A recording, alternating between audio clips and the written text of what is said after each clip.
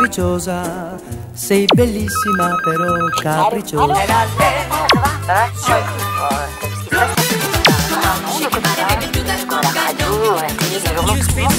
Ah, le truc je suis allée au pressing. Attends. Alors, c'est que le truc en, en ligne, là, Magnéto, non, c'est- oui, parler aussi. Lui aussi, il en parle. Ah oui, lui aussi, il en parle. Si lui, il en parle, ça veut dire que tout le monde en parle. Ah, non, non, mais c'est un truc, c'est- c'est c'est énorme. C'est énorme, je crois pas. Tout le monde en parle. Tout le monde en parle, non. Amis du samedi soir. Bonsoir, bonsoir, bonsoir. Bienvenue sur le plateau de Tout le monde en parle, l'émission pas comme les autres. Vous connaissez le principe, tout le monde en parle. Alors tout le monde en parle. Vous connaissez l'équipe, voici Cad et Olivier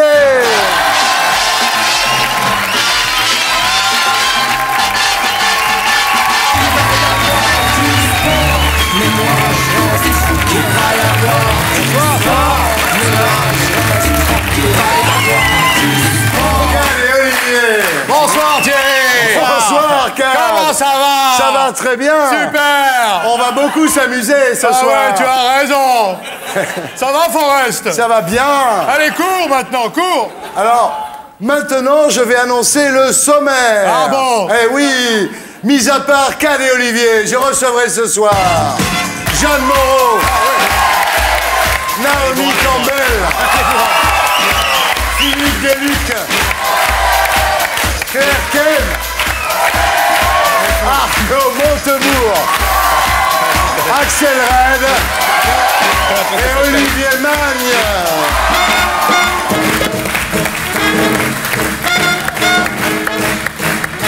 Quel bon programme C'est du lourd C'est du lourd Quel beau Ah, c'est programme du lourd ce soir. Quel beau programme. Mademoiselle Moreau, Naomi Campbell. Alors vous savez que Naomi Campbell ne parle pas bien le français, donc bon on va Ah, avoir recours à une traductrice. Oh. Et nous avons la chance d'avoir ce soir parmi nous Belinda. Bonsoir Belinda. Bonsoir. Belinda,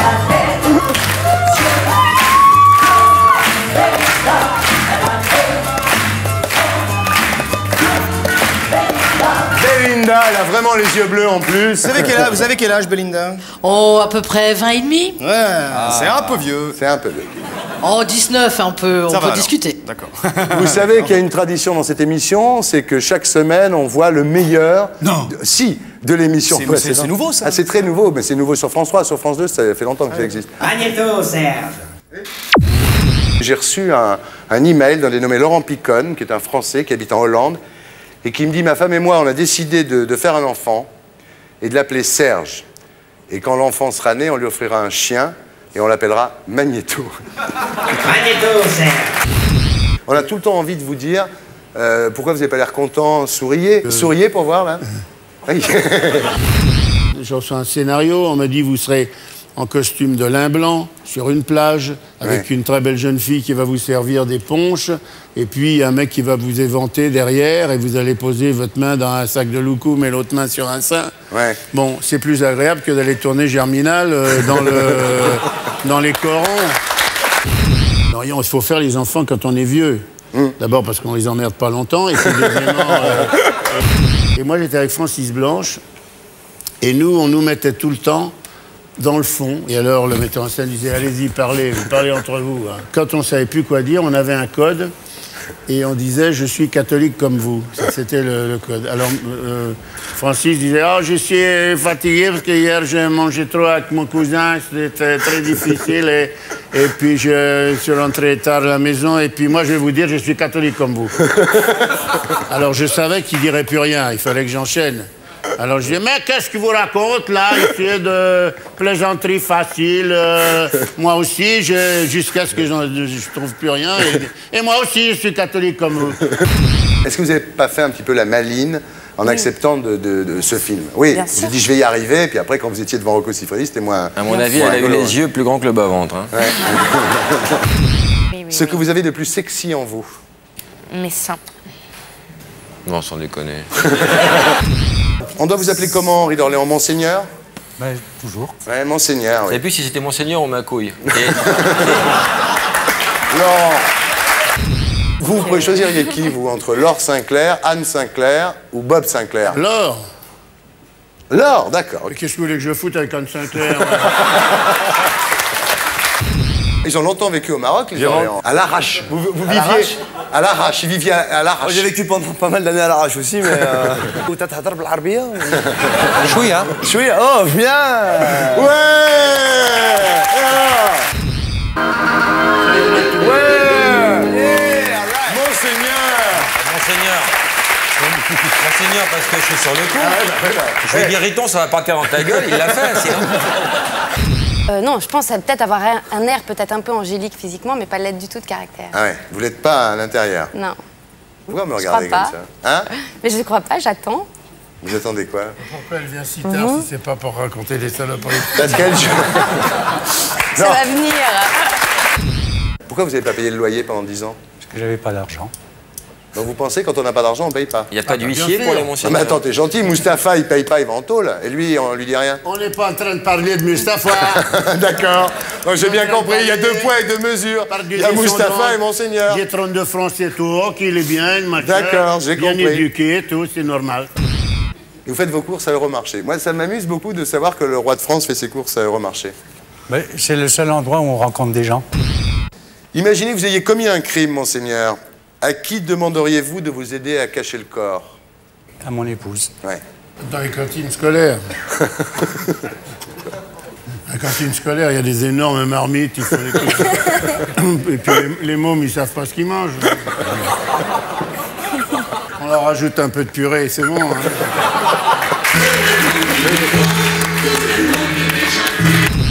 C'était Tout le monde en a parlé. Le best-of de la semaine précédente, voilà.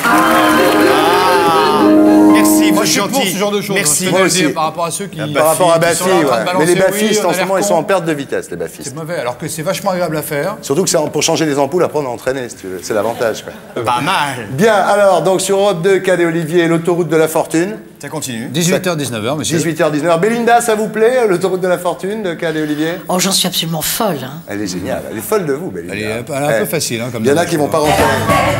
Il y en a qui vont pas rentrer tout seuls. Et alors, euh, sur Comédie, Oui, sur Comédie tous les soirs, 19h, 20h, la grosse, la grosse émission. émission avec un spécial Pamela Rose au mois de décembre. Oui, Oui. faisons 26 un- minutes en direct, intégral. En direct intégral. ouais, ouais. 26 minutes en direct, voilà, le 22 décembre Le à 22 21h. décembre, très bien. Magnéto, Serge. Bon, Ripper, en fait, merci pour le dépannage. hein. J'ai passé un super week-end avec Barbara. hein. En tout cas, c'était super. Ça s'est bien passé avec mon bon Il est adorable, votre chien, hein, vraiment.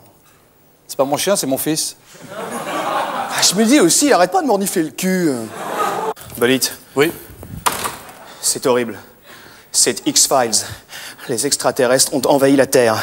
Ils sont ouverts et ils avalent tout le monde avec leurs grandes trompes. Mais là, Ripper, ça, c'est des motocrottes, ça. J'espère que vous attraperez le salaud qui a tué la petite. Ils n'ont pas le droit de vous faire ça. Non, inutile de protester, Ripper. J'ai prêté serment pour le meilleur et pour le pire. Je tire mes révérences. Tenez. Voici ma plaque. Mon revolver. Mes menottes. Mon postiche. Mon badge de Rose Laurence. Ma photo dédicacée de Christophe Colombe. Mon bac, mon bic et mon album de bec. Voilà. Allez, bonne chance. Vous me manquerez beaucoup, Ripper. Avant que vous ne partiez, je. Je voudrais vous dire un secret. Thierry Roland est une femme? Non. La femme de Thierry Roland est un homme? Non. Ça vous concerne. Vous savez que j'ai deux anus? Ah bon? Ah, c'est marrant, ça Ripper, mais quand vous allumez votre cigarette à l'envers comme ça, vous me rappelez mon ancien collègue. Sylvain Merouf. Dieu et son âme. Il est mort? Non Il a un t-shirt de Jean-Claude Van Damme. Excusez-moi, je ne savais pas. Vous pouvez pas savoir À la route, Ripper, c'est la fin de l'épisode. Demain, Ripper et tenteront une nouvelle fois de répondre à la question que tout le monde se pose. Qui a tué Pamela Rose Cave et Olivier Cave et Olivier, la grosse émission tous les soirs sur Comédie. Merci. Énorme, c'est énorme. Ça nous fait plaisir. Comme des fous. Et là, ça va être 26 minutes en Ah ouais. live Ah total. ouais, c'est fort. Mon Bien, j'accueille maintenant une grande dame, une grande dame Ah. qui porte un nom de jeune fille. Voici Mademoiselle Moreau.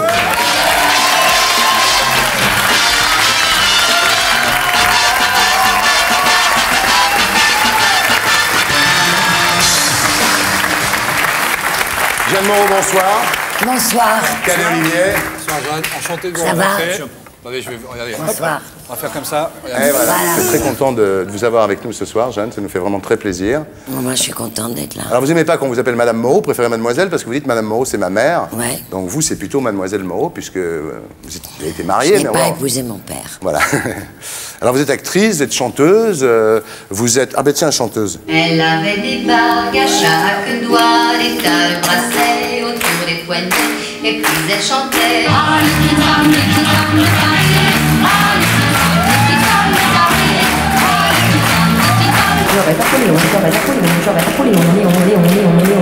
J'ai la mémoire qui flanche, je me souviens plus très bien. C'est des classiques, hein, c'est des... Il y en a d'autres, hein. tout le monde les Oh. connaît. Ah, ben ça va Ouais. comme ça. Non, mais il y en a un paquet, hein. Donc vous êtes, comme j'ai dit, actrice, euh, comédienne, euh, chanteuse, réalisatrice et maintenant metteur en scène de théâtre, puisque vous montez une, une pièce à Chaillot, vous avez monté une pièce à Chaillot qui s'appelle Un trait de l'esprit, euh, qui est écrite par Margaret Edson, et vous avez fait l'adaptation Oui. Et la mise en scène.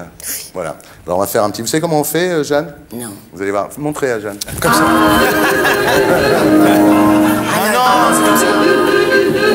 Ah, je voulais vous faire une petite. Vous voyez euh, comme je suis obéissante. Ah, oui. c'est formidable. Bah oui, c'est les grandes actrices, ça.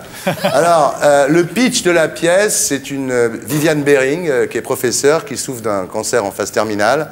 Et vous dites, en parlant de la pièce, que c'est un, c'est le triomphe de l'esprit sur la matière. Oui.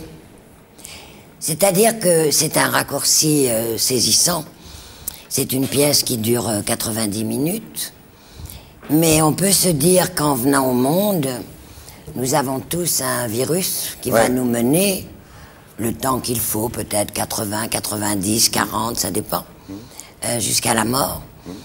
Et euh, cette femme qui a étudié euh, la poésie, un poète euh, extraordinaire qui s'appelle John Donne, dont la vie a été très mouvementée, qui a commencé à être aimé des femmes et à aimer les femmes, et puis petit à petit, il a progressé vers la lumière, j'appellerais ça, comme ça, et qui lui a appris euh, le courage, la lucidité, et elle fait ce chemin avec beaucoup de lucidité, d'humour, et elle fait rire.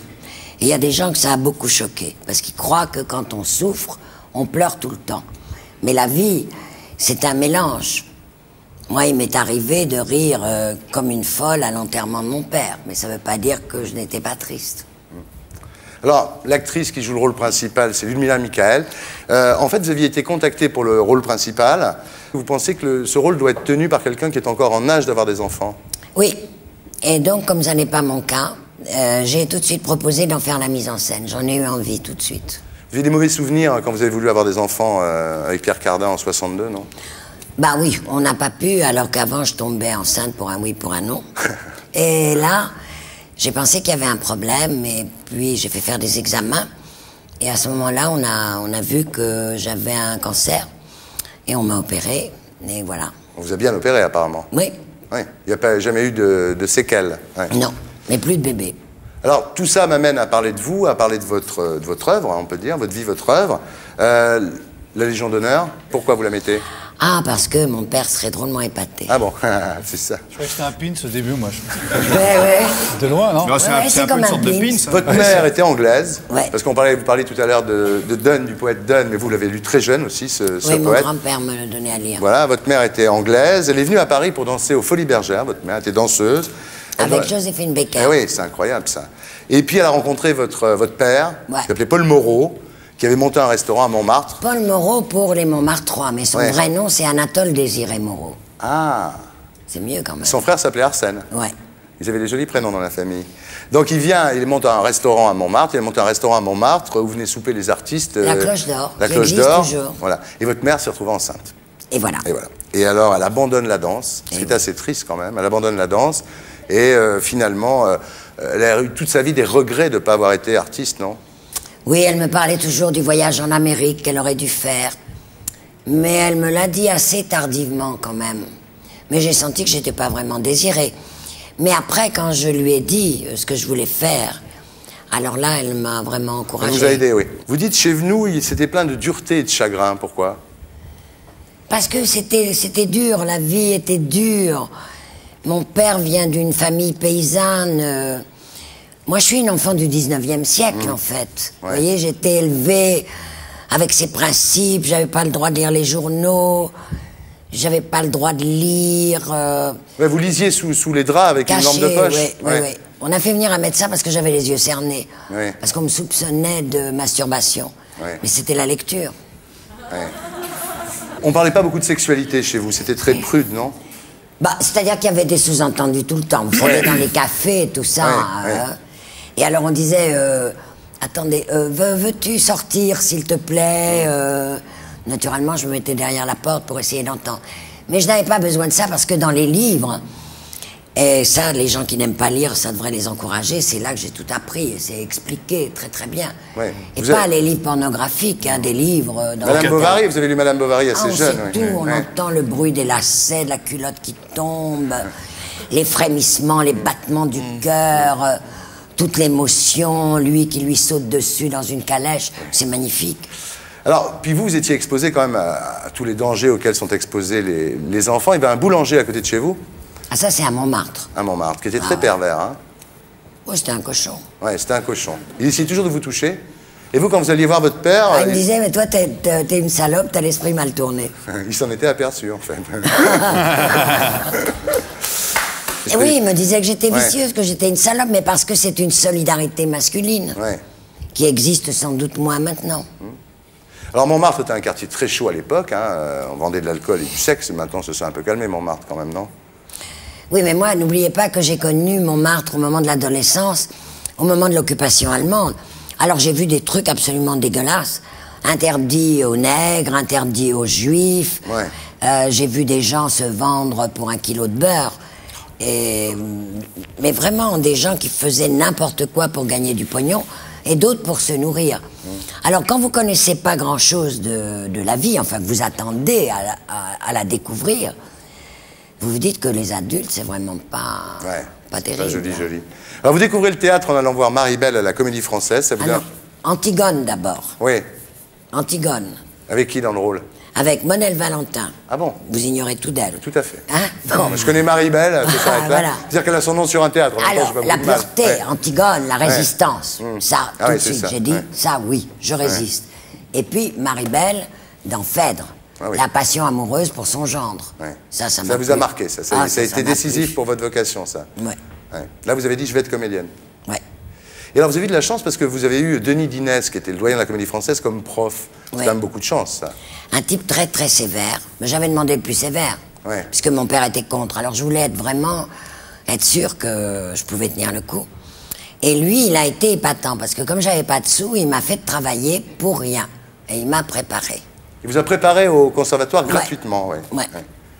Et, quand- et votre père, quand il a vu ça, qu'est-ce qu'il a fait Quand il a vu autant de Ah bah, il a détermination vu, euh, j'étais déjà actrice, il a vu ma photo euh, en première page de François. Ah oui. Votre mère était retournée en Angleterre euh, euh, avec votre petite sœur. Vous étiez resté avec votre père, euh, qui d'ailleurs, par désespoir, picolait un peu trop. Et le jour où il a vu la photo, il vous a viré à coup de pied au cul. Oui. C'est pas. Ça rigolait pas. Ah oui, ça rigolait pas du tout. hein. Alors après, il venait vous voir quand même, hein, de temps en temps au théâtre, non? Ah bah oui, mais il était au premier, deuxième rang, il dormait. Ah oui. Alors les, les acteurs qui allaient en coulisses, ils disaient merde, il y a un type qui ronfle là. Ouais. J'étais obligé de dire que c'était mon père. Ouais. Il dormait avant de dormir, il disait c'est ma fille, c'est C'est ma ma fille. fille, oui. C'est pas qu'il dormait surtout, c'est qu'il ronflait, quoi. Hein? Ouais. Et alors, quand il voyait euh, Jeanne faire des films, euh, il disait Tu te laisses embrasser par Gabin, ce vieux dégueulasse. Non, mais c'est incroyable quand même. Ça pourrait être ton père. Mais vous savez hein. qu'on en parle mal, hein, mais je l'adore. Ouais, de votre père Bah oui. Bah oui. Il m'a servi. Il vous a donné cette espèce aidé. de. Oui, ouais. bah oui, parce que moi, vous vous êtes rebellé contre quelque chose. Vous aviez Ouais. quelque chose contre Il quoi était très vous très rebellez. beau. Il était très Ouais. très beau. Bah vous aussi. hein. La prochaine fois, je vous montrerai une Vous photo. tenez de lui Hein Vous tenez de lui Je sais pas. Hum. La bouche, c'est de qui? Votre père ou votre mère? Ni l'un ni l'autre. Ah bon? C'est une bouche extraterrestre Je sais pas. Et la voix? Ah non, de qui? Personne. Ah oui, c'est une voix extraterrestre. Ouais, ouais. Bon, alors on va parler des autres hommes de votre vie, parce qu'on va faire la soirée sur votre père quand même, Allez, parce que voilà, les hommes de la vie de Jeanne Moreau, ah, il y en a eu des. Hein D'abord, Ah, doup, doup, doup. Ah. Excusez-moi, je mélange tout, moi. hein. un jour, vous découvrez que vous êtes enceinte de votre premier amour, qui s'appelait Jean-Louis Richard. Hein, vous aviez 20 ans, et vous vous preniez la, la grossesse comme une, comme une punition, non? La grossesse, je l'ai très bien vécue. Mais après, c'est l'idée d'avoir un bébé. Hum. Ça vous plaisait pas, ça? Ben, J'avais pas envie. Ouais. Donc vous êtes allé en Suisse pour vous faire avorter et vous ne l'avez pas fait? C'était trop tard. C'était trop tard. Et alors vous rentrez à Mais mon Paris? fils le sait, hein, Oui, c'est pour ça il que le je sait, vous en Jérôme. parle. Ouais. Oui, oui. Et alors ce qui est très bizarre, c'est que vous partez en Suisse et vous revenez à Paris et vous tombez dans le métro complètement par hasard sur le père de l'enfant. Voilà. Jean-Louis Richard. Que j'avais perdu de vue. C'est incroyable ça. Et qu'est-ce qu'il a fait? Il vous a emmené dans sa famille Oui. pour vous faire en habiter disant dans sa c'est famille. une copine, euh, elle a des problèmes, elle sait pas où loger. Ah bon, très bien. Et puis je, veux- je vis un mois, deux mois, et on se disait, on chuchotait, on dormait dans la bibliothèque. Comment on va faire pour leur annoncer? J'ai dit, écoute, on va acheter de la laine de layette, des aiguilles à tricoter, puis je vais commencer à tricoter, puis je vais laisser traîner ça. Ils vont comprendre. Ouais. Ça a été le fou rire. C'est ce qui s'est passé. Et c'est vrai que vous avez accouché la veille de votre mariage? Ça c'est fort. Quand. Non, le lendemain. Ah, le lendemain du mariage. non. Le lendemain du mariage. C'est encore plus fort. Non, j'étais au cinéma Hmm. la veille. Ouais. Mais vous n'étiez pas très attendri par la, euh, par la naissance de votre enfant parce que vous téléphonez aussitôt à votre metteur en scène Jean Ah, Meyer. mais j'étais fière. Oui, Ah, vous bah, étiez fier, mais vous lui dites bah, je suis prête à travailler heures. dans 10 jours, vous lui dites. Ben, j'ai mis deux heures à accoucher. Ouais. Ah ouais. Et j'ai téléphoné à 6 heures du matin. Ah, voilà. Et vous dites je suis prête, je Puis C'est reviens. merveilleux, on sait jamais quoi dire aux gens qu'on a envie de réveiller à 6 heures du matin, c'était pas mal quand même. Ça y est, j'ai un fils, j'ai accouché en deux heures. euh, Mais vous n'avez jamais été une mère très attentionnée quand même. maintenant, je le suis. Hmm. C'est-à-dire, en fait, ce qui s'est passé, non, ce qui s'est passé, c'est que C'est ce qui compte? quand votre fils a eu son accident de voiture avec Belmondo, un jour, euh, c'était le tournage de quel film? Moderato. Moderato cantabile. Voilà. Et donc Belmondo prend une Dauphine Gordini qui était là. La mienne. Euh, la vôtre? Que je ne conduisais pas toute neuve. Et lui, il avait son permis depuis 8 jours. Il embarque Jérôme, donc le, le- le fils de Jeanne. Ils ont un accident, ils passent 16 jours euh, et 17 Dans le nuits dans le coma, oui. Et là, vous commencez quand même à vous dire, à vous intéresser un peu plus à lui. non? Mais non, mais j'ai toujours aimé tendrement. Non, j'essaie de vous faire passer pour Mais un pas monstre. tout près, tout près, tout près.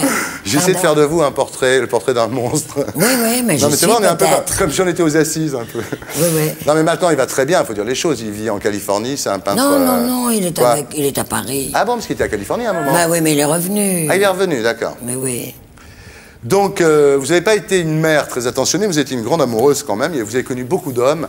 Euh, Orson Welles, c'est vrai qu'il voulait que vous quittiez tout pour le suivre en Amérique. C'est pas vrai. C'est pas vrai. Non, c'est pas vrai?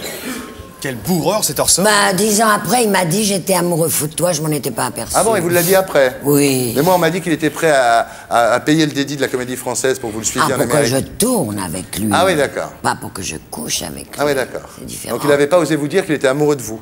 Après, non. Après, bien après. Vous avez fait trois films avec lui? Oui. Il fait Falstaff, Le Procès, et puis... euh, Le procès et puis Histoire immortelle. Voilà, c'est ça. Donc après, il y a eu Louis Malle, Les Amants. Ah, mais ça, Louis Malle, je l'ai aimé Ouais. profondément. C'était oui. un de vos plus grands amours, Louis Malle. Oui, un des. Ouais. Un des, oui. Mais vous auriez jamais fait Les Amants comme ça si vous n'aviez pas été ensemble. Ça se sent quand on voit le film, non? Peut-être. Peut-être. oui. Vous sentiez en faisant le film que ça allait vers la fin, que le fait de faire ce film Mais avec bien lui- sûr, Ouais. bien sûr. Je sentais que j'outrepassais quelque chose. Et que je jouais en accéléré la fin de notre, euh, de notre relation. C'est- Vous avez brûlé votre relation avec lui dans ce film. Oui. Il vous a fait tourner avec Brigitte Bardot, c'est pas très bien passé, non? Si, justement, contrairement à ce qu'on a raconté, je vous assure que ça s'est très très bien Vous êtes passé. sûr? Non, monsieur, ah c'est ce oui, que vous- je ne veux pas vous contredire. Non, mais c'est ce que vous dites Pour aussi. vous contredire. Non, mais bon. Brigitte est quelqu'un de magnifique et qui n'a jamais aimé être comédienne. Mhm. Ça la barbe. Donc, elle n'est pas à l'heure, euh, elle râle. Ça l'énerve, euh, ouais. ça l'énerve. Ouais. C'est tout. Je sais pas, il y a eu une panne de courant, vous allez me dire si c'est vrai. Il y a eu une panne de courant sur le tournage de, de Viva Maria, donc Les Petites Femmes de Paris, et elle a dit si on trouve Jeanne assassinée, ça sera pas la peine de chercher bien loin l'assassin. Oui, ben, elle l'a dit pour Comme faire ça un effet, mais bien sûr. Après, il y a eu Truffaut. Elle n'aurait pas réussi. Vous avez eu une aventure avec Truffaut Non, une amitié amoureuse. Ah, Une amitié amoureuse. Ah bon Cardin, oui. Ah bah Pierre, Mais oui. Cardin, c'est Mademoiselle Chanel qui vous a dit un jour euh, j'ai pas le temps de m'occuper de toi, Ouais, de vous. c'était pour le film avec Lozé, Eva. Eva, ouais. Il m'a dit euh, allez voir ce jeune mec, il fait des très beaux vêtements. Et voilà. je l'ai vu, vraiment, je suis tombée folle de Le lui. petit couturier dont tout le monde parle, et ça a duré 4 ans, quoi. Hein Moi, j'avais un pull, Pierre Cardin. Sur mesure Ouais, tout le monde croyait que je m'appelais Pierre Cardin parce qu'il Ah ouais. marqué. Et alors après, il y a eu le bouquet. Alors là, là, celui-là, c'est le bouquet. C'est le réalisateur de L'Exorciste et de French Connection, William Friedkin. Alors lui, quand je vous ai demandé, quand on vous demande pourquoi euh, vous l'avez épousé, vous dites c'est le seul qui m'a demandé en mariage. C'est assez- Ouais. Et vous étiez bouleversé.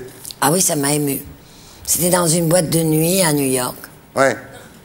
Il vous a demandé en mariage, vous avez pas pu. Vous avez craqué. J'ai dit oui, ça m'a paru bien à ce moment-là. Ouais. Mais lui, le problème, c'est qu'il voulait diriger votre carrière, quoi. Bah non, à partir du moment où il m'a épousée, c'est- j'étais Madame Friedkin. Ouais. Madame Friedkin, c'était sa maman. Oui. C'est- Comme Madame Moreau, c'était votre mère. Voilà, exactement. Alors il a commencé à bloquer mon impresario. Il a dit non, non, il lisait tous les scénarios. Moi, on me les donnait même pas à lire. Et il disait, ah non, Madame Friedkin ne tourne pas ça, Madame Friedkin ne tournera pas avec machin. Madame Friedkin. Alors j'ai dit, bon, Vous avez divorcé, c'est à vous que le divorce a coûté du pognon. Oui. C'est quand même incroyable, ça. C'est une époque où vous n'aviez pas beaucoup d'argent, ça. aucune, aucun sou. Ouais. C'est une époque assez bizarre parce que vous passiez de, de festival en festival. Oui, mais c'est l'époque où on a commencé à me rendre des hommages. Alors, j'avais des garde-robes somptueuses, des très beaux bagages. Je voyageais en première d'un hôtel euh, sublime. Et puis, si je voulais faire une course et prendre un taxi, j'avais pas de quoi. Mais vous habitiez où? J'ai Ah, habité. carrément. Alors, Louis avait un appartement vide, j'ai habité chez lui. J'ai une autre amie qui m'a logé. Euh, Francine Rasset, Donald Sutherland m'ont logé. C'est à cause des impôts, tout ça, non? À cause de, oui, et puis Des de mon impôts. divorce. Le divorce Ah oui, ça coûte cher. Pas qu'on divorce, nous, hein. Ça va te coûter cher, toi, je vais te dire. Non, non, non. Le jour où vous allez divorcer, T'inquiète va pas, vous j'ai un coûter bon cher. avocat. C'est Vous fou, dites, quand même. euh, Jeanne, vous dites, j'ai eu beaucoup d'hommes dans ma vie, mais je pense pas avoir aimé un homme. C'est quand même un peu. Non, j'ai j'ai dit aimer, aimer. Je pense l'amour, l'amour parfait, l'amour magnifique, l'amour sans sans intérêt, l'amour. L'amour absolu. L'amour absolu. Euh, je t'aime, mais tu veux être euh, loin de moi parce que tu es plus heureux ou plus heureuse sans moi. Très bien. Ce qui compte, c'est que tu sois heureuse ou heureux. Ouais. Voilà, Jeanne Moreau, merci. Alors, alors euh, vous savez, Jeanne, qu'on ne bouge pas pendant le jingle. Ah oui, là. Ah oui, là. Ah bon Ah oui, vous allez voir. On ne bouge pas pendant le jingle.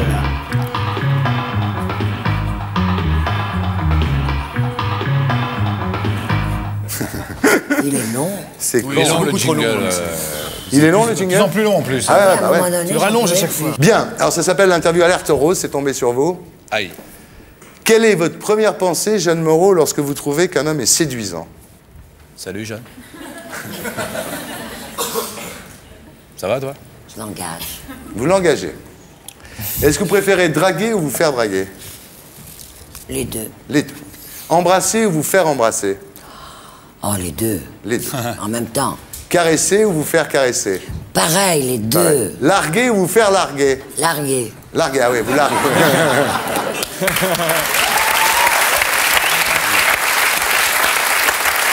Quel est, Pardon quel est pour vous le lieu idéal pour une étreinte? L'été euh, à l'ombre. Hmm?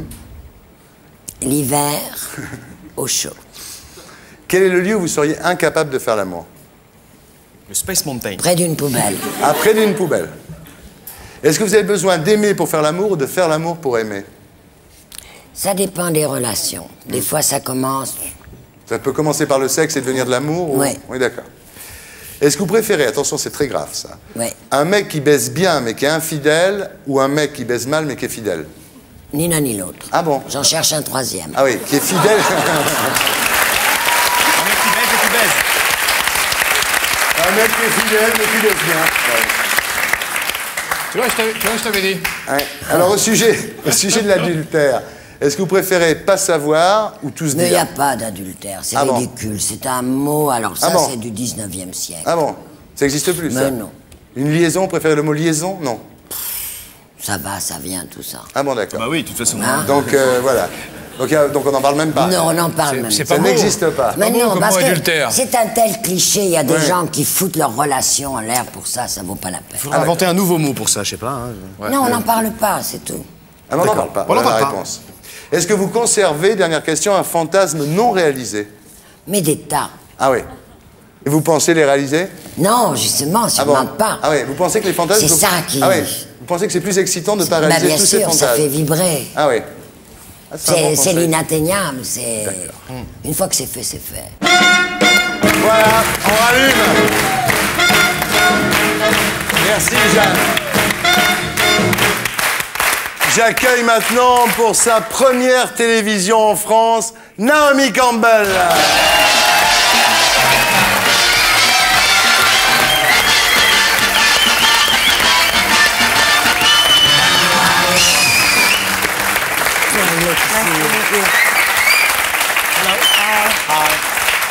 Naomi, bonsoir. Bonsoir. Bonsoir, monsieur. Alors, je vous. Je vous... Naomi, je, je vous regarde dans les yeux parce que vous avez dit que si un homme n'est pas capable de vous regarder dans les yeux, c'est pas la peine qu'il vous regarde. Absolutely true. Ça, c'est tout à fait vrai. Donc je vous regarde dans les yeux comme ça, voilà. Alors d'ailleurs, quand on vous regarde, on s'aperçoit que vous êtes extrêmement jolie et que votre euh, réputation n'est pas usurpée. Euh, votre secret, c'est quoi? Je fais de la gymnastique tous les matins à partir de 8h30. Et maintenant que j'ai 30 ans, j'ai décidé qu'il est temps de faire attention. Ah, Faites attention, vous mangez plus que vous voulez maintenant. Parce qu'à une époque, vous mangez tout I, ce que vous voulez. I, I eat pretty much what I like. Oui, je mange plutôt ce que je veux, mais pay je for sais que je vais payer pour Ouais. ça si je me laisse trop aller. Alors vous, vous avez des mensurations de rêve, évidemment. Vous faites 1m77, 86, 61, 88. Les connaisseurs apprécieront. Le seul problème, c'est que vous chaussez du 40. C'est beaucoup, ça, quand même, pour une femme. I do. Oui, c'est vrai, oui, oui, je sais. But I do. Ouais. Oui, oui. Et vous pesez, vous vous foutez de combien vous pesez? Parce que vous n'avez même pas de pèse-personne chez vous, vous avez dit. Yes, I do. I do have a scale. Oui, bien sûr que j'ai un pèse-personne, mais j'ai pas besoin de m'en servir tout le temps. woman, we all know, Je pense que, vous savez, nous, les femmes, on sait ce qui a changé quand on se voit dans le miroir sans avoir euh, tout à fait à passer sur la pèse-personne. hein. Alors, André Léon Talley, qui est, moi je ne me permettrai pas de, de- de parler de, de votre physique, évidemment, mais André Léon Talley, qui est un grand journaliste de mode américain, qui a longtemps travaillé au Vogue USA, euh, dit en parlant de vous, euh, Naomi Campbell a un fessier si haut, si stable, si ferme, qu'on pourrait poser une flûte de champagne dessus et l'utiliser comme table à cocktail. Essayons ce soir. Est-ce qu'on peut nous apporter du champagne? Et Donatella Versace a dit de vous que vous étiez la Marilyn Monroe noire. I don't think so. Je ne pense pas, mais to c'est say, vraiment très gentil de dire ça de moi. I love Marilyn. Mais j'aime beaucoup Marilyn, hein. je l'aimais beaucoup. Vous la trouvez comment, Jeanne? Très belle. Elle est belle. hein. Et intimidée aussi. Elle? Oui. Ah, moi aussi. hein. On est deux. I'm very shy tonight. No, that's my Gemini. One side is shy, one Mais c'est, vous savez, c'est un petit peu ma personnalité. Il y a I'm in un public, côté timide, un côté qui you n'est think pas. every Et time quand on est en public, vous pensez qu'à chaque fois que je suis, par exemple, dans les coulisses et que je vais commencer un show, Ouais. je ne suis pas nerveuse. I Mais think it's si, good je not suis to be nerveuse. too sure of yourself, Je pense because que c'est bien de ne pas être trop, trop sûr de soi-même parce que So vous ne donnerez pas le meilleur de to vous-même. give my best. Donc euh, j'essaye effectivement de donner le meilleur de moi-même et ça veut dire d'être un peu nerveux. Alors, votre beauté est due à, à des origines très mêlées. euh, euh, vous avez du sang chinois, du sang noir, du sang, du sang blanc aussi. Donc, My euh, grandmother's Ma grand-mère, Ming. elle s'appelait Before she Ming married my grandfather, my avant great-grandfather. qu'elle ne euh, se marie à mon grand-père et mon grand, euh, mon arrière-grand-père plus exactement était chinois. c'est un beau mélange. Et pourtant, alors, quand vous étiez à l'école, euh, à l'école d'art à, à Stockwell, vos, vos camarades vous appelaient sac d'os. Alors, ça a changé quand même. Yeah, can be very mean to Les sacs d'eau, vous savez, les enfants peuvent être Ouais. très méchants les uns avec les autres. Alors, à l'époque, vous avez commencé par faire de la danse, poussé par votre mère qui voulait que vous soyez une, une star. No, no, no. Non, non, non. She, she sacrificed her um, Elle a me, ses aspirations when I was en ma three years old, I faveur, mais quand I j'avais trois dance. ans, je lui ai I was déjà dit à l'époque que je voulais danser. À I trois ans, j'étais déjà en mesure de dire ce que je voulais, absolument. dancer. Elle ne pouvait pas had to me- feel that I euh, m'obliger à le devenir. Ouais. Il fallait que je le sente, et c'était le cas. Ouais. Vous avez ça en commun avec Jeanne Moreau, hein, c'est que vous aviez un bon caractère déjà euh, très affirmé, euh, très jeune. hein. Vous aviez ça en commun. oui. Alors, à l'époque, euh, vous ne pensiez pas devenir mannequin, jusqu'à ce que quelqu'un vous, découvre. hein. Vous avez été découverte comment I was discovered there's this area in London called Covent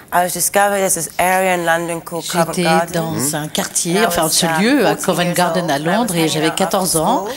et c'était après l'école, to je me, baladais, cette dame était an venue, agency. c'est une ex-mannequin, elle m'a dit j'ai come une agence, see me? And I was est-ce que vous pouvez venir me beautiful voir girls with long Et il y avait and I was ces filles blondes, magnifiques avec des cheveux longs et je me disais moi. years later, Et my euh, mother said, deux ans okay, plus but tard, in the ma mère m'a dit d'accord, mais au début elle voulait me l'interdire, want elle you to disait je do. ne veux pas que tu fasses cela. And so after two years, I Et called her donc, euh, après deux ans, you. je l'ai rappelée. Elle m'a dit, mais je me. souviens de vous, Et voilà. revenez, etc. Et à 16 ans, Naomi Campbell devient mannequin Vous êtes le premier mannequin noir à avoir fait la couverture de Vogue. Euh, évidemment, il y avait Imam Bowie et Grace Jones qui avaient ouvert la voie, mais vous avez été la première à faire la couverture de Vogue et après, d'ailleurs, la première à faire la couverture de Times Magazine.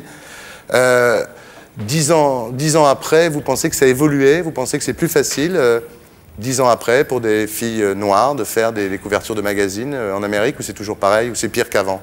Think it's kind of worse. Je pense que Ouais. c'est pire. Um, I think um, from, if you look at the magazines Si vous this regardez year, les magazines, par you exemple could cette like, année, maybe vous two, pouvez en not compter peut-être even. deux, et c'est And peut-être I pas think, sûr. You know, when I started Et lorsque j'ai commencé le Laurent, mannequinat avec euh, the Azine Alaya with et Saint Laurent, il y of all avait des nationalities. défilés avec Now, des I personnes, see- des I don't- I mannequins de toutes shows les anymore, but I nationalités. went to Maintenant, je ne fais plus défiler, mais and je I suis allée see en one. voir Ouais. et j'en ai vu qu'une. And it's very sad. Et ça, It's je pense very que c'est sad vraiment because très triste parce que il ça montre que And les gens sont très étroits d'esprit. Not correct. Ouais, Et ça ça n'est pas correct. Ouais. Ça va pas vers le mieux, en tout cas. Alors, euh, vous avez connu un énorme succès. Euh, vous avez gagné en 1998 15 millions de francs. Euh, quand on vous dit que vous gagnez beaucoup d'argent, vous dites d'abord parce que je ne suis pas un mannequin comme les autres. Et deuxièmement, euh, il m'arrive de faire des choses gratuitement. C'est vrai? Absolutely. Oui, tout à fait. Et je le fais encore. a new, um, when John Galliano Et started, quand Jean Galliano a commencé they didn't have any money et il before, n'avait pas d'argent du tout and, avant um, d'être chez Dior. and Vuitton. And Et they said, euh, "We're gonna Vuitton, do our own collection ils ont we dit don't have on va money." faire notre I said, propre "Okay." collection, nous called n'avons pas girls d'argent. J'ai dit ok said, "Will et j'ai aussi because I appelé believe d'autres in filles et je creativity and I- les ai encouragées parce que love je what they crois à la créativité. J'aime beaucoup ce qu'ils font. Euh, Vous avez fait partie des, des- ce qu'on a appelé les, les super modèles. C'est pas les top modèles, les super modèles. C'était quoi les super modèles ça, ça marche plus, ça? Je That's ne a sais pas. terminology Vraiment, that c'est I une think espèce de terminologie qui est adoptée par la presse, par les because médias, qu'ils ont un peu inventé. creates more scandal. Parce I que don't ça know. a créé un peu plus But de scandales. Je ne I sais pas vraiment pourquoi, mais je pense que with quand all the other je fais un in the défilé same avec toutes situation, euh, les autres mannequins, nous sommes tous, euh, toutes dans la même situation. Il y en a pas qui est plus grande, petite. Belinda. Ça suffit, Belinda. Oh. C'est vrai, non, c'est vrai qu'à l'époque, il y avait. You know Belinda? She's a translator. Belinda. I've not, I can't see her, but I can hear her. Good evening. Good Ah. evening, Ah, ça réveille, ça. hein. Belinda. Non, c'est vrai qu'à l'époque, Naomi, il y avait un groupe de filles. Il y avait Cindy Crawford, il y avait Linda Evangelista, il y avait Christy Turlington, Stéphanie Seymour. C'était toute une bande de filles. Vous étiez toujours ensemble sur les podiums, euh, très copines entre vous. Et ça crée une bande. C'est peut-être pour ça qu'on vous a appelé les supermodèles, non? Um, what was nice about our Et of ce qui était bien dans ce groupe, c'est qu'on était "Anthony, solidaires, on what s'aidait, about?" Or, on se disait alors qu'est-ce que tu "Don't penses de ça? about it." It was always Vous voyez, il y avait, il y toujours ce, va-et-vient, cette euh, euh, relation très forte. Ça n'est plus But I la même chose, mais je pense que on ne pourra pas s'amuser autant, mais c'est vraiment des bons souvenirs. Alors Elton John dit en parlant de vous, quand on voit Naomi Campbell sur un podium, on réalise qu'elle mérite vraiment chaque centime qu'elle gagne. Magnéto, Serge.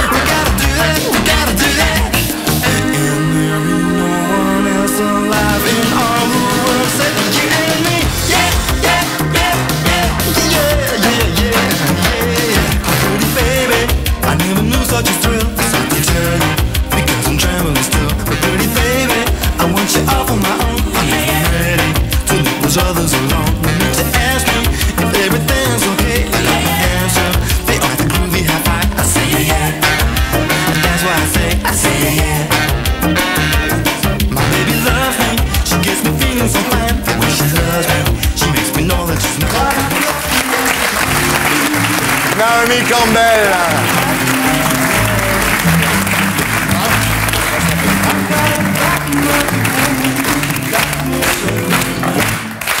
Alors Naomi, euh, au moment de tout ce grand succès que, que vous avez eu, vous aviez des, des, moments un peu, un peu difficiles. Vous étiez un peu incontrôlable à l'époque, non?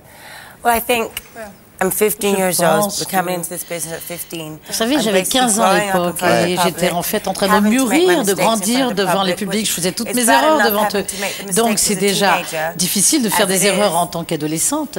And then you have to Et make it in ensuite, il it's faut le faire devant tout le it's monde en public. Et c'est vraiment une you situation learn from pas facile, mais on apprend de ses erreurs. Ouais, c'est vrai. En plus, dans le métier, quand on dit non une fois, si un photographe veut vous photographier, vous voulez pas, ou si on vous met un micro comme ça euh, sous le nez et vous voulez pas répondre, on vous traite tout de suite de garce. C'est vrai que c'est difficile de, de se protéger contre cette, euh, cette agression des médias. I try. J'essaye. But um, I mean, if yeah, if you say no, Mais then you're c'est vrai que si vous dites ridiculous non, vous êtes une garce, c'est ridicule parce que il faut, left for yourself. en fin d'analyse, qu'il vous Um, reste quelque chose à vous. Vous avez été victime de ça, vous, de cette espèce de, de- Bien sûr, oui. d'agression des médias, comme a été victime Bien Naomi sûr. Oui. Moi, j'avais fait le choix, c'était une fois dans une rue de Rome.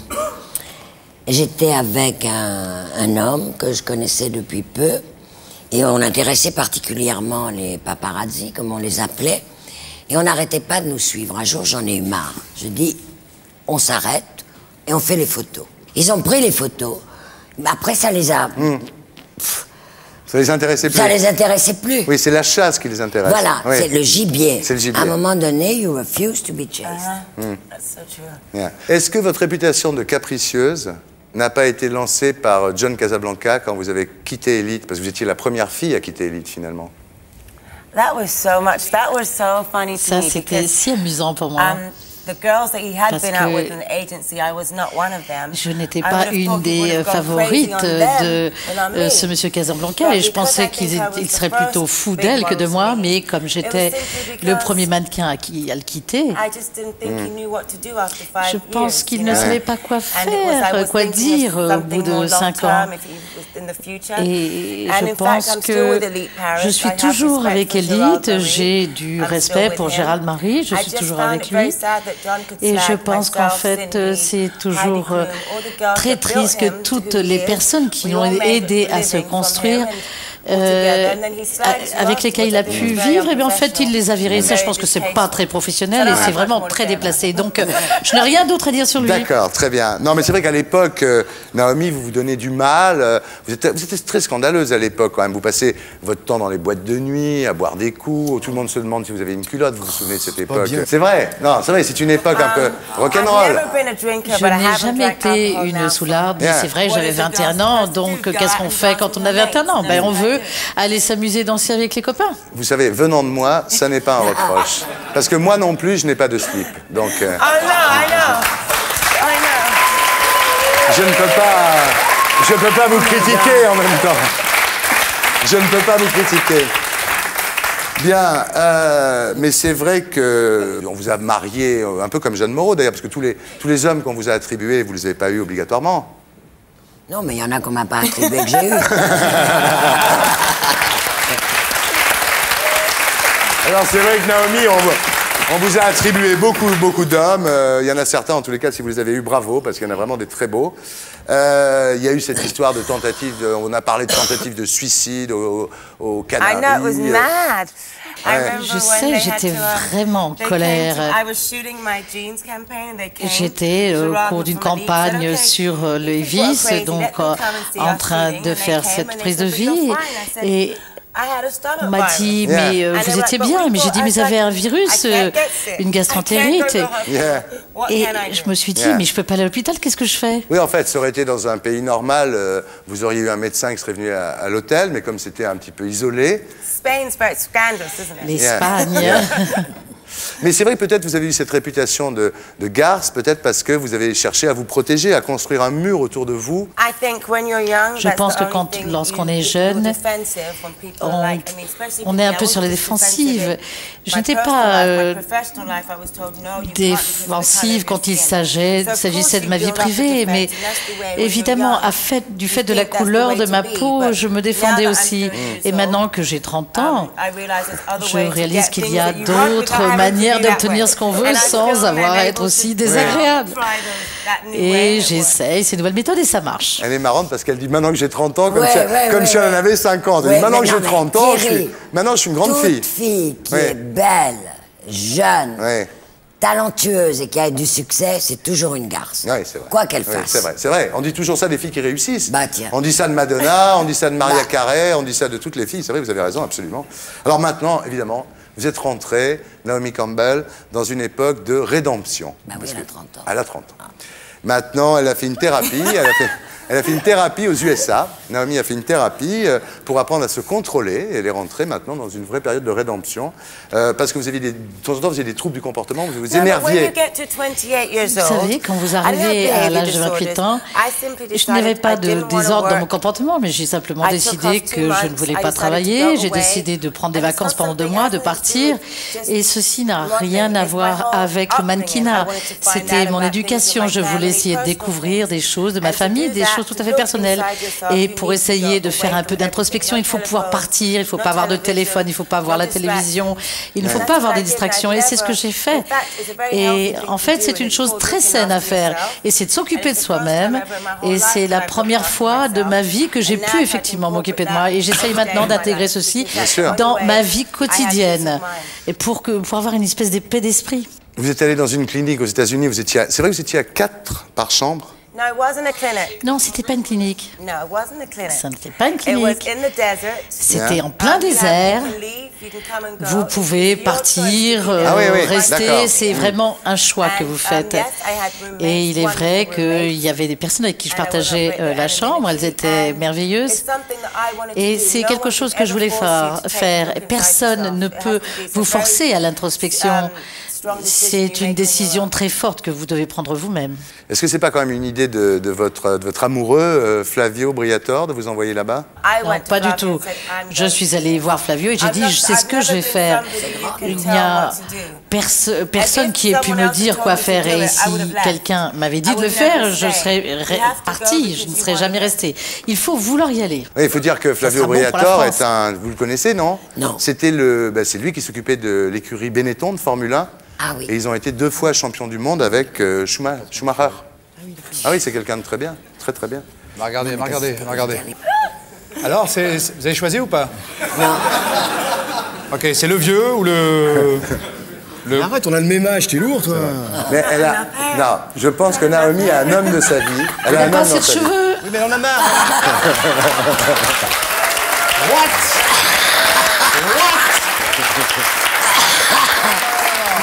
Je crois. Je, je crois. Je peux vous dire, euh, un endroit où vous pouvez en acheter euh, très bien. You know. You know what? Yes. Smoke on the water, let it be, I can get no satisfaction. All right? All right? Attends. T'as aucune chance, hein Mais non, mais, euh, My hair is inside, à l'intérieur. Savez, les cheveux, ils sont à l'intérieur. On peut dire, euh, Naomi, que c'est l'homme de votre vie maintenant, euh, Flavio? Oh, no, absolutely not. Oh! It's not me. Yes, it was. Non, on peut dire ça. I'm very happy and content with Je that. suis très heureuse. On est et très heureux que vous soyez heureuse. relation. Puis alors, je vais vous dire une chose. Thank Il a, il a 50 ans, vous avez 30 ans, c'est très bien. Yeah, but men are fit, men, someone who's 50 really Vous is 30. savez, un homme de 50 ans peut avoir 30 ans, parce qu'en Oui, fait, tous les hommes bien. sont immatures. La, la Bien sûr, voilà, exactement, bravo. Mais c'est vrai, c'est vrai. C'est vrai, écoutez, écoutez, c'est vrai. Écoutez, Ce que vrai. Non, ce vrai, ce dit est vrai. ce vrai. Vous avez dit, euh, Naomi Campbell, en parlant des enfants, si je dois tomber enceinte, je tomberai enceinte, mais je veux pas non plus faire des enfants, parce que toutes mes collègues en ce moment sont en train de faire des enfants. I feel. I mean, right now I've got three friends who are pregnant. I can't say any J'ai trois amis à l'heure actuelle qui And I'm sont like, enceintes, je ne peux pas dire leur nom, et je me dis, oh là là. But you know what? Everybody has their Mais time. vous savez, Ouais. ça vient à time, temps pour time. chaque personne. Quand ce sera le temps, le bon Ouais. moment pour moi, et bien voilà, je le saurai.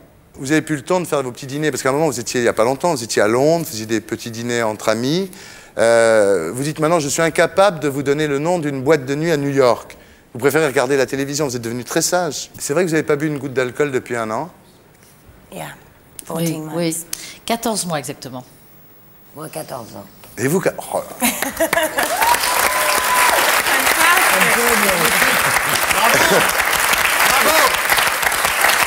Alors madame, vous avez d'autres centres d'intérêt dans la vie. Euh, Naomi, il y a votre parfum. Le premier parfum, c'est le premier qui a porté le nom vraiment de quelqu'un, qui s'appelait Naomi Campbell. Vous êtes très impliquée dans la, dans la fabrication, euh, pas seulement, vous n'êtes pas seulement l'image du parfum, vous êtes aussi impliqué dans la... Je vais donc, euh, je participe aux, réunions euh, où on parle même, par exemple, du paquet packaging. Attendez, rassurez-moi, vous n'allez pas devenir comme Ivana Trump quand même. Ah. Non. Non, non. But I like Ivana. Elle, est adorable, hein, vraiment. Je comprends que ce soit une superstar quand même. Hein. Ah, très jolie hein, sourire. Hein, quand, on, la voit, on comprend quand même le succès qu'elle a eu. Oui. Alors, Naomi, en dehors de votre parfum, vous êtes occupé beaucoup du fond pour les enfants de Nelson Mandela. Je travaille depuis 4 ans avec lui maintenant. Je l'ai vu à Londres, j'ai travaillé avec lui à Los Angeles. Et en février 2001, j'ai organisé la tenue d'un concert avec U2, Wycliffe, Nina Cherry, Mary J. Blige, et ce soir, on pourrait vous inviter. Et c'est vraiment une chose qu'on ne peut pas vous forcer à faire. Et Monsieur Mandela est venu dans ma vie quand j'ai perdu Johnny Versace, qui était un ami, et j'étais euh, vraiment très triste et j'étais un peu perdue. Il m'a dit, viens ici. Et je lui ai dit, non, l'Afrique du Sud, c'est vraiment pas un pays où je veux aller. Et il a dit, non, il faut que tu viennes parce qu'il faut prendre ce que tu es et aider les autres qui ont moins de chance que toi. Et c'est quelque chose qui est très vrai. Et c'est un homme incroyable. Il ne se plaint jamais. Il n'est jamais en colère. Il ne dit pas, oh là là, cet homme qui m'a gardé euh, en prison pendant 25 ans. Je ne sais pas comment il arrive. C'est un, un humain. Il est d'une humanité extraordinaire pour moi. Et il a 82 ans. Et en fait, il en fait que 62. Et le Dalai Lama, vous êtes engagé auprès du Dalai Lama aussi? The Dalai Lama, I was c'est là où j'ai rencontré Schumacher parce qu'il a demandé à trois personnes de le rencontrer en Allemagne. J'y suis allée et je me souviens avoir appelé quelqu'un qui est très célèbre, très proche de lui et j'ai dit qu'est-ce que, qu'est-ce que je dois donner un chèque ou quoi que ce soit. Il m'a dit non, c'est pas ça. Il veut vous rencontrer parce qu'il pense qu'au travers euh, de voyages, vous pouvez faire passer la parole, le message. Et c'est une personne tout à fait merveilleuse. Vous voyez, c'est trois personnes. Également Fidel Castro, ils ont dû en fait se battre ou sacrifier leur vie. Il est très euh, malin, il est très, malin en communication ce Dalai Lama parce qu'il a pris comme ça des gens très connus. Fidel Castro aussi. Ben oui, oui. il a réussi à se glisser dans le coup. Oui, absolument. Est-ce que c'est pas une façon, euh, Naomi Campbell, euh, toutes ces actions que vous menez auprès de Mandela, auprès du Dalai Lama, c'est pas une façon de racheter un peu vos, vos excès? No, because it's something non. that parce que quand j'ai décidé ces deux engagements, j'avais toujours la même vie, je n'avais pas de révélation particulière, divine. C'est simplement, parce que je pensais qu'il fallait que je donne quelque chose, que je rende. Je sais que j'ai beaucoup de chance et je suis très reconnaissante au destin et c'est ma façon de rendre quelque chose et c'est quelque chose à quoi je n'avais pas du tout pensé, c'est-à-dire de s'utiliser soi-même pour essayer de faire, faire avancer une cause et j'aime bien le faire. C'est difficile parce que on en arrive à pleurer quand vous allez dans les hôpitaux. Hein, vous craquez après 10 hôpitaux. Et il ne faut pas pleurer parce que les enfants pensent que c'est eux qui vous rendent triste. Et en fait, il faut que vous contrôliez vos émotions, que vous calmiez.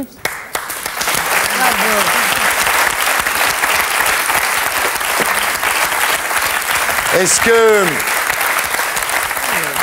Oh, thank you. Very nice. Very nice. Vous avez toujours une petite pierre dans votre, euh, dans votre sac. Et cette petite pierre, vous la portez partout. Elle vous a inspiré pour la forme de, votre flacon du parfum. Non.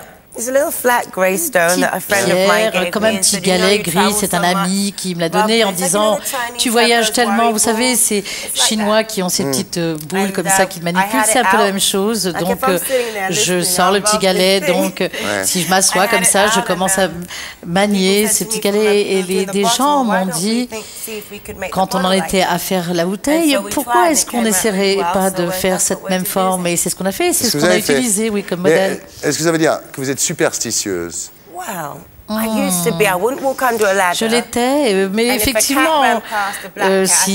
regular. chat noir And if ou my s'il hands fallait scratched, passer I sous thought une there was échelle great fortune Ouais, ou ouais. si euh, j'avais un petit grattement Un dans petit la peau, je me disais que c'était la, bonne fortune. Donc vous voyez, oui, un petit peu quand même, oui, je Bien. pense. Alors, ça tombe. not 13 at the table. Et pas très à table, hein, surtout. Ouais. Ah oui, c'est ça, oui. Ça tombe bien, on va faire euh, une interview croyance. On ne bouge pas pendant le jingle.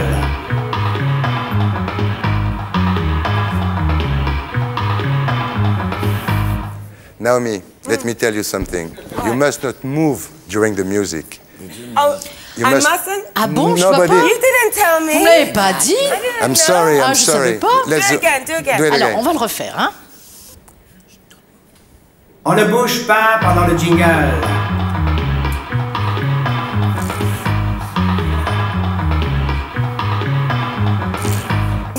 Ok. Merci. Thank you. Alors, est-ce que vous croyez à la magie noire? No. Non. Non. Good magic.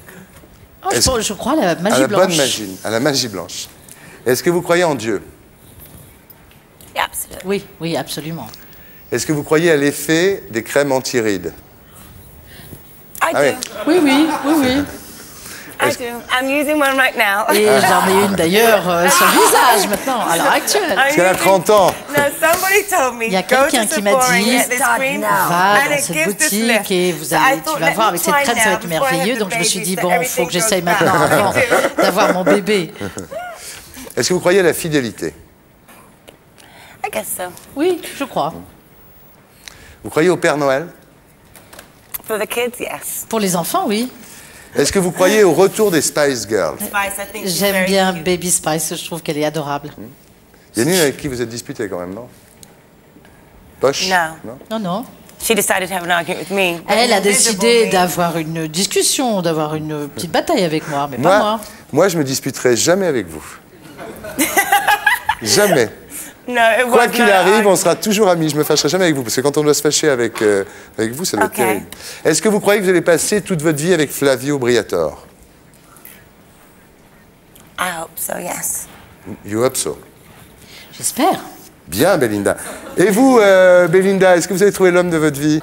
Oh oh. Oui, oui, j'ai trouvé l'homme de ma vie. Eh ben à alors fait. dites-le, Belinda. Voilà, malgré mes 20 ans et demi, vous voyez, j'ai l'homme de ma vie. Est-ce qu'il est sur le plateau? Ben, je ne sais pas la vérité. En fait, moi, je suis ici, lui, il est là-bas. Que fait-il Où va-t-il?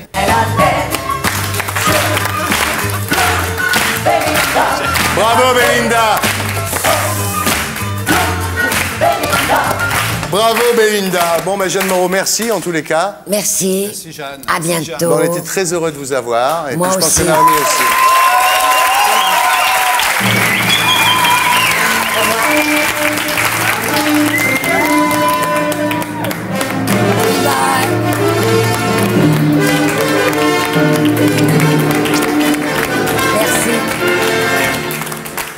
Et Cannes en profite. Uh, euh, Hello, how are you? You know me? My name is Willis. Hello, Willis. Jean-Pierre Bonjour, Willis. Willis. Hello, Jean-Pierre Willis. How are you? Fine? Don't be afraid. I'm not. All right? I'm not. Moi je chat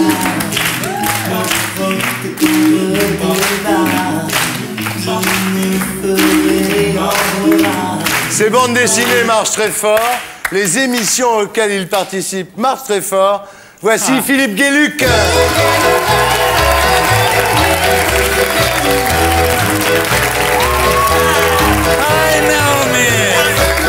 I'm so happy to see you again.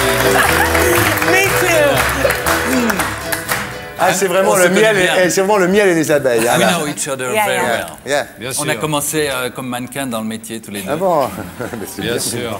My, my friends call me, you know that, the most beautiful guy in the world. I remember. Je me souviens de ça, oui. Philippe Guéluc. Alors, vous participez, Philippe Guéluc, à une émission qui s'appelle On a tout essayé sur la même chaîne. Euh, un mardi sur deux sur France 2, mais Ouais. comme vous venez qu'une émission sur deux, finalement, ça vous fait qu'une fois par mois en même temps. Mais bon, Ah ouais. hein, parce que vous alternez avec Gérard Miller dans l'émission de Laurent le, c'est qui le producteur un peu rat qui ne m'engage qu'une fois par mois dans Catherine Barman. Bien, alors l'émission cartonne, on peut le dire, hein, on a tout essayé. Euh, D'ailleurs, le- la dernière émission, la mardi dernier, c'était vraiment avec De Chavannes, vraiment euh, euh, pareil, les chiffres étaient les mêmes. J'ai demandé le décompte manuel parce que j'avais l'impression que c'était. j'avais l'impression que c'était bouché d'or. Alors vous participez, participez également. Et, nous remercions ici, si tu nous regardes, Michel Drucker, euh, de nous avoir euh, gentiment euh, prêté une fois par mois Philippe Gueluc et Gérard Miller. Ça s'appelle Vivement dimanche prochain. Ouais, et Hein ça, c'est un dimanche sur un. voilà, c'est quand même la différence. Oui. Alors, quand Michel Drucker vous a recruté, il s'est dit euh, bon, euh, euh, Miller, il va faire le psy de service, euh, Mazur, il va faire le journaliste qui fait sa revue de presse. Euh, et puis, quand il est tombé sur vous, il vous a dit toi, tu vas faire. bah, écoute, faut que tu trouves ton rôle. Oui. C'est génial. Ça vous a donné une liberté totale. Oui, et en même temps, une, une angoisse, parce que ces mots précis ont été et toi, tu vas faire euh, trois Ouais. petits points. Ouais, c'est bien Michel. Et, et après ça, démerde-toi. Il vous aime beaucoup, Michel. Mais moi, je l'a l'aime beaucoup aussi. Michel, si tu nous regardes. Bien.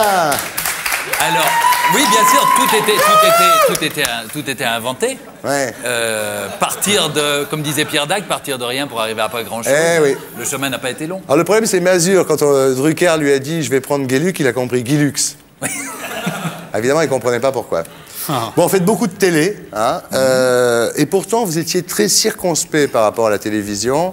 Euh, vous avez dit une vache qui passe à la télé, c'est une vraie star, mais c'est quand même qu'une vache, quoi. Mais euh, oui, enfin, que, que j'essaye euh, de, de- de préciser. Quand on pense à tous ces créateurs, à tous ces, ces peintres, ces scientifiques, ces écrivains qui travaillent parfois sur des œuvres monumentales et qui ne passent jamais à la télé et qui restent des inconnus à vie, c'est un petit peu pénible de se dire qu'à côté de ça, il y a un crétin qui présente la météo, qui écrit un bouquin, qui fait un tabac en librairie. Bah oui. Il est marrant. hein.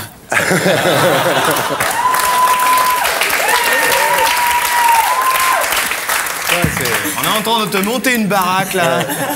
Énorme. C'est bon, Naomi, Naomi, vous, vous le trouvez comment? Il est bien. I love him. He's a very beautiful He was a great model. Oui, c'était un He was mannequin very good. formidable. Il était très bon. Hein. Et voilà, on a commencé He ensemble. got more outfits than we did. Il avait beaucoup plus de vêtements à, de- à changer pour se changer que Ouais. nous n'avions.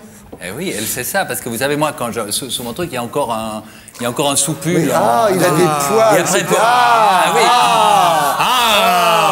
Alors, en Belgique, vous avez une émission qui marchait très bien, qui s'appelait Lollipop, et vous l'avez arrêtée pour des raisons artistiques, alors qu'à l'époque, vous aviez seulement le chat qui vous rapportait 20 000 balles par mois. Donc c'est vrai que vous avez toujours 20, été... 20 000 francs belges, Ah c'est-à-dire euh, 3 000 francs Ah français. oui, ah oui, ah oui, ah oui, ah oui, c'est rien. Ah oui, Pourtant, Lollipop en Belgique, c'était culte. hein. Oui, c'est une émission culte. C'était, si vous voulez, du Monty Python pour enfants. On a euh, déliré pendant Hmm. Bah oui. 5 ans en direct. Alors, est-ce que vous savez ce que ça veut dire Guéluc euh, en flamand? On l'a su. On l'a su. Gueluc. Gueluc. Guéluc. Gueluc. euh. Gueluc. Gueluc. Je cherche hein, en Luc, hein, un Luc, un, know un- un Luc heureux, Luc heureux. Gueluc. Personne ne sait Vous êtes nul, en- vous êtes nul en flamand ou quoi là On a fait qu'on a fait que deux ans. Ça veut dire bonheur. Bien sûr. Ah. Guéluc. Je bah oui. Bonheur. Alors votre père était caricaturiste, ce qui fait que vous avez découvert l'humour assez jeune, évidemment, puisque à la maison on en parlait beaucoup. Euh, vous avez découvert Harakiri assez, assez jeune. Euh, et puis votre père est devenu distributeur de films des pays de l'Est.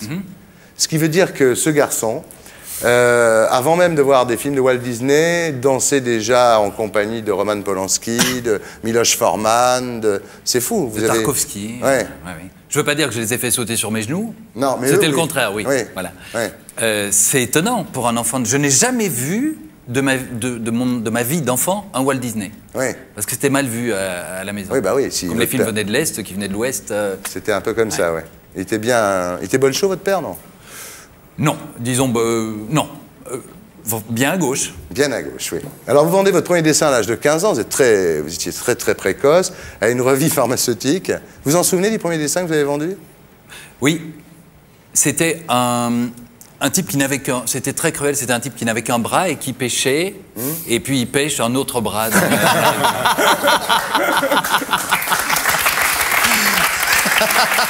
Ah ouais. Mais c'est vrai. C'est vrai que les, les- les- les Belges sont beaucoup plus sensibles que les Français à- au nonsense, à l'humour anglo-saxon. Hein? Oui, parce que depuis toujours, on, on- on est une sorte de minorité opprimée au sein Mm. de l'Europe. Vous savez, on, on- on parle français dans une partie du, du pays, on Mm. parle flamand dans une autre partie. On ne sait pas très bien, on est un peu les bâtards de l'Europe. Et on était traversé par toutes les cultures, par les Anglais, par les Allemands, mais comme certains autres. aussi, oui. hein, oui. Voilà. L'humour allemand a laissé peu de traces dans le pays, finalement, mais, mais l'humour anglais, l'humour espagnol, euh, voilà, tout ça, ça a laissé des, des traces. Mais vous dites que s'il y a tout ce, ce côté surréaliste en Belgique, finalement, c'est parce que c'est pour se délivrer de l'horreur ambiante, d'une certaine façon. Oui, et puis c'est un moyen de défense pour les minorités euh, en général. Pourquoi l'humour juif est-il si formidable? Parce Ouais. que les juifs ont toujours dû se, se battre, se défendre pour vivre. L'humour tchèque, c'est pareil. Euh, vous avez un chien Ouais. qui s'appelle Kilim, ce qui veut dire tapis. Un Mais kilim, quand on demande à Philippe Gueluc pourquoi il a appelé son chien Kilim, il dit parce qu'on veut qu'il serve plus tard.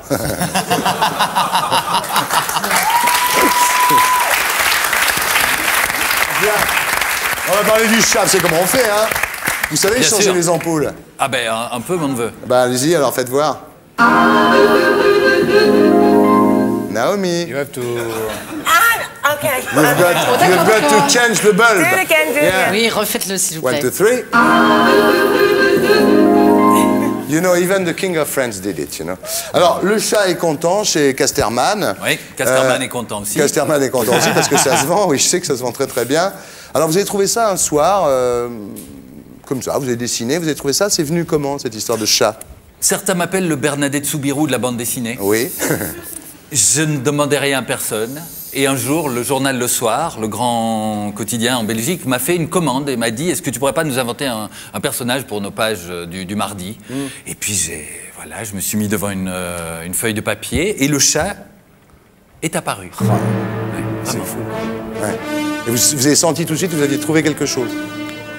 Très vite, très vite. Quand j'ai vu la simplicité du personnage, quand j'ai vu euh, vers quoi il allait pouvoir m'emmener, je me Ouais. suis dit J'ai découvert quelque chose avec lequel je vais faire un sacré bout de chemin. Alors j'ai noté quelques, quelques extraits de- du chat. Euh, si on mettait du mercurochrome dans les bombes, ça soignerait déjà les premiers blessés. Ce n'est pas de très bon goût, je sais. Mais la guerre, c'est pas de très bon goût non plus. Les imbéciles prétendent que tous les noirs se ressemblent. Je connais un noir qui trouve, lui, que tous les imbéciles se ressemblent. Quand je sors dans le monde, il m'arrive de dire aux gens que j'ai une grande vessie. C'est pour me donner une contenance. Hier, on m'avait dit que l'avenir, ce serait aujourd'hui. Aujourd'hui, on me dit que l'avenir, c'est pour demain. Quand cessera-t-on de remettre le futur à plus tard? C'est vachement bien. Ouais. Nous, on, est, on est des grands fans de, de Philippe. Ah non, mais c'est fou. Quand on voit tous ces top modèles, excusez-moi, quand on voit tous ces top modèles anorexiques et quand on sait ce qu'on les paye, on se dit que ça fait cher le kilo.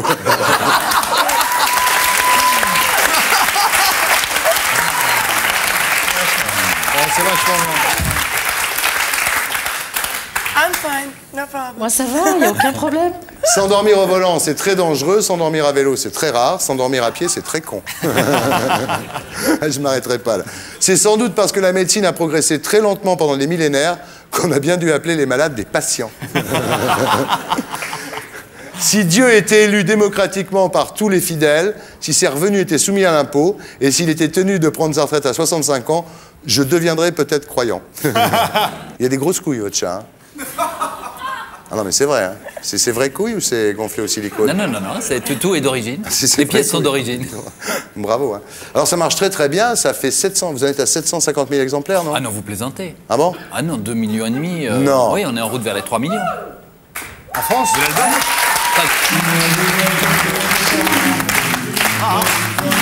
Il est riche Ah ouais, c'est énorme Ah ouais, vous êtes riche alors Euh, Si, si, arrête. euh, T'es milliardaire. Non, non. En francs belges En francs belges, non. Bien, vous savez qu'on ne bouge pas pendant le jingle On Ah vous oui. l'a dit ça On va pas bouger. On ne bouge pas pendant le jingle.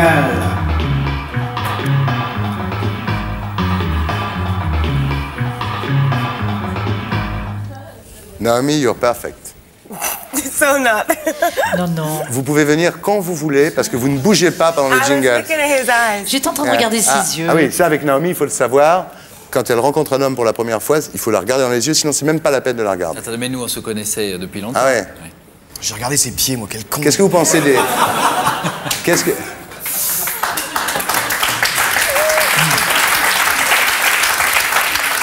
Alors, Philippe Gueluc, vous connaissez le portrait chinois Oui. Le portrait chinois, c'est si tu étais une fleur, quelle fleur serais-tu? Bon.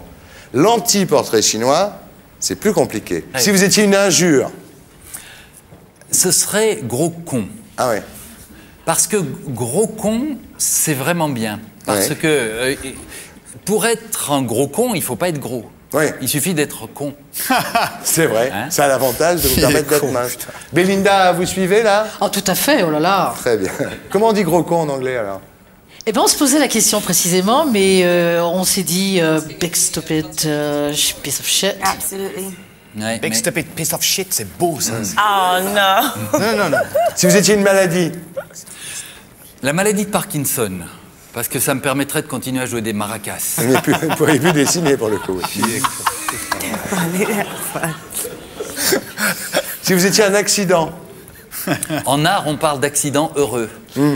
Un peintre dont le pinceau dérape crée parfois une tâche magnifique. Ouais. Si vous étiez une perversion. Je crois que je suis une perversion. Une guerre. Un, co- un- un conflit nucléaire mondial. Ça résoudrait pas mal de problèmes. Oui, c'est sûr, le réchauffement de la Terre, ça serait réglé au moins. Si vous étiez un vice.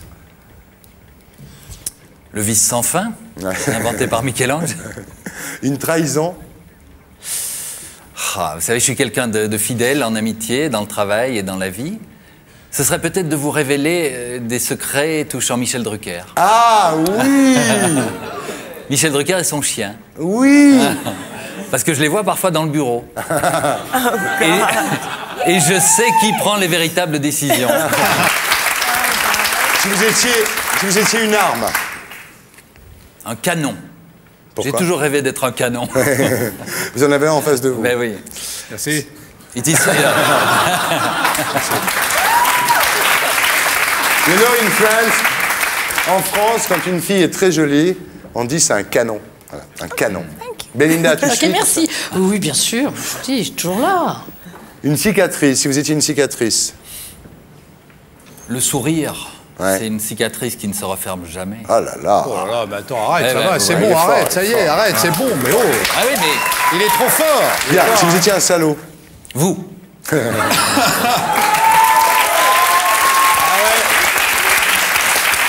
Ça, eh, c'est rare que j'y coupe à ça. Si vous étiez un dictateur, vous pouvez pas dire vous là, vous l'avez déjà dit une fois. Le maître du monde. Oui, parce que je fais pas les choses en, en- euh, à moitié. En- donc maître du monde ou rien. Maître du monde ou rien. Si vous étiez une infirmité. La calvitie Oui. Parce que Ça va, ça va. c'est une infirmité qui a des avantages tout de même. C'est pas douloureux. Oui, c'est vrai. Ça fait gagner du temps le matin pour Oui. se coiffer. Oui. Et puis ça rend tellement séduisant. Oui, c'est vrai. Vous, en tous les cas, ça vous va vachement bien. Ouais, ça me va pas, ouais, c'est ça. C'est pas que pareil. Naomi, bon. un homme chauve, ça vous, ça vous fait fuir Non, ça me fait rire. No, no, no, no. Non, My non, non. grandfather's Mon completely bald. grand-père est complètement chauve. Bien. Et ben voilà, C'est bien ce que je dis. tu fais penser à son grand-père. Naomi Campbell, euh, Et ben voilà, l'histoire est réglée.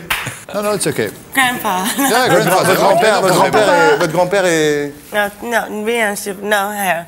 Yeah, so he Il n'a doesn't pas to tout de cheveux, donc euh, He doesn't go inside the church au because he wants to mariage, il Ouais. ne va pas donc when à l'église parce qu'il ne veut pas enlever le, uh, son years chapeau. Et quand the j'avais airport, 4 ans, à l'aéroport, il a, je lui ai enlevé son chapeau, il était furieux après moi. Si vous étiez un microbe. La grippe Ouais. Vous, vous tombez, vous êtes microbe. Et vous, allez- vous avez la possibilité de donner la grippe, je ne sais pas, au chanteur Carlos Oui. ou à Naomi Campbell. Ah non. Vous n'hésitez pas. Ah oui. Ah bah non. Vous choisissez Carlos. Bien sûr. si vous étiez un assassin. Un regard.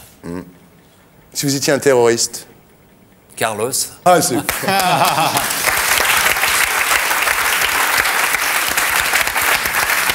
si vous étiez une torture. Une torture Oui. Torture Ninja. Oui. Des conneries comme ça, dire- hein Ah non, il est, il est con, il, il est con, il sait bien. Ah, excuse-moi. J'allais dire Zoé, la torture. Oh merde. Tu vois, comme quoi rapide. Si vous étiez une humiliation.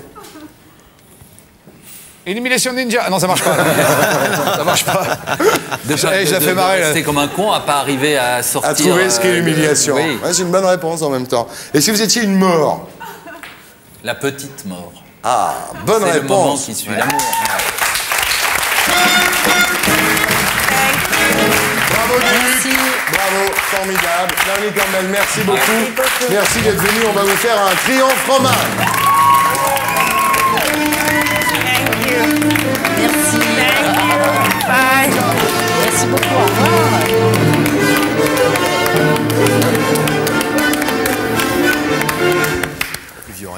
Cad Oui, ah bon, ça va, putain, ça marche jamais, merde. Cad J'en ai plein le cul, putain, merde. Putain, pourtant, j'ai tout fait, merde. Oh, l'autre, elle aime pas les chauves, de toute façon. Ah ben, tu- dis moi, pas j'aime, ça. moi, j'aime pas les grandes, moi, de toute façon. Elle, elle est un peu grande, hein Elle est un peu grande, ouais. Ouais, elle est un peu grande, un peu, un peu, euh, bah, puis elle avait des, elle avait des pieds de 40 quand même. ça Elle, elle chose du 40, elle chose du 40 absolument. Elle chose du 40, c'est pas Elle des chose conneries. du 40, hein. hein, c'est pas du bluff. Hein. Impressionnant ça. Les Elle a grossi un peu. Hein. Et, et en plus, Ah non, c'est vrai, non, non. non. Vous êtes salaud, vous êtes salaud de dire ça parce Ouais. que moi je la revois plus tard. Ouais. Ouais. Donc après, si elle sait ce qu'on dit. ah, le, elle- pi- le pire, c'est qu'elle met du dracar noir. Parfum. Ça fait mal. Et la quoi elle va aussi. Tu sais qu'elle est repartie dans sa fuego, là. Ah, on rigole, on rigole, mais bon. Ouais, bon, allez. On aimerait bien quand même. hein. Ça manque un peu de, ça manque un peu de jeune fille ici, non? J'accueille Claire Kem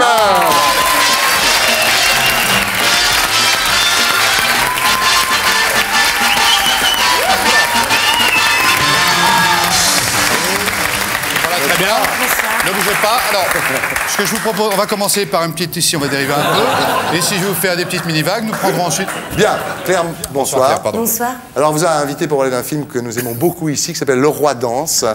Euh, alors, je suis obligé, là, vous allez voir, c'est terrible. Dès qu'on fait de la promotion ici. Bien, bien, bien, bien, bien, bien. Bien, bien, bien. Ah, ce soir, vous me faites vraiment plaisir ce soir. Vous me réjouissez avec tous ces petits. euh, Ah là, quel bonheur, ça bouge pas. Dès que ma fille est pas là, hein, c'est. Elle a oublié son verre, Naomi Ah, si vous buvez dans le verre de Naomi, tu vas, tu vas, tu vas connaître ses pensées. Ah oui, oh Ouais, oui, tu vas connaître génial. ses pensées. ah. Vas-y, vas-y. Tu veux connaître ses pensées Dis-moi ce qu'elle dis ce qu'elle pense. Oh mon Dieu, oh mon Dieu, mais. Oh mon Dieu, mais. mais dé- mais dépêche-toi Oh mon Dieu, mais.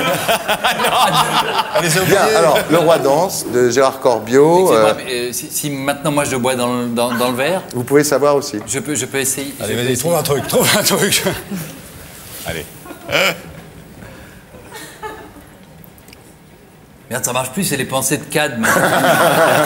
Oh, joli Le chat Et vous savez à quoi il pensait Ah oui. À dire, j'arrive pas à dire un truc drôle sur ce que Naomi pensait.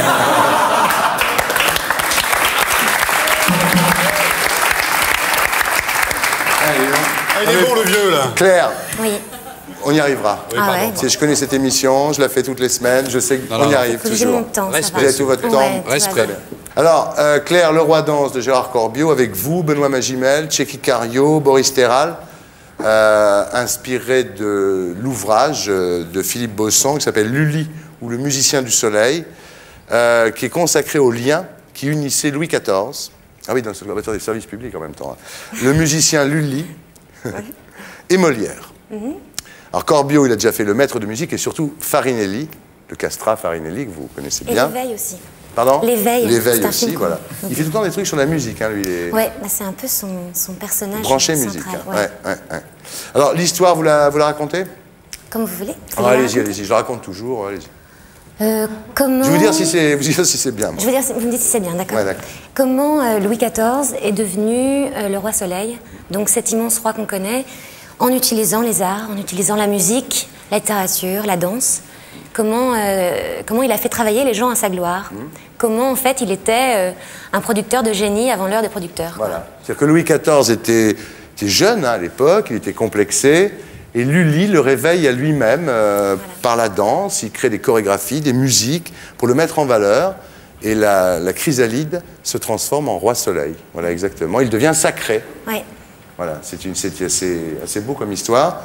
Mais alors le problème, c'est que Lully aime le roi, euh, d'un amour fou et, et platonique, et il croit que le roi ne peut pas se passer de lui, il croit que le roi est fou de lui aussi, Et cet aveuglement le perdra, mesdames, messieurs. Magnéto, Serge.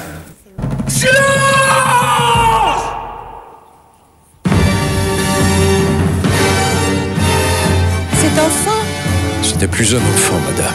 C'est un roi. Désormais, je régnerai seul. Louis J'ai 22 ans, ma mère. Et je suis votre roi. Le roi danse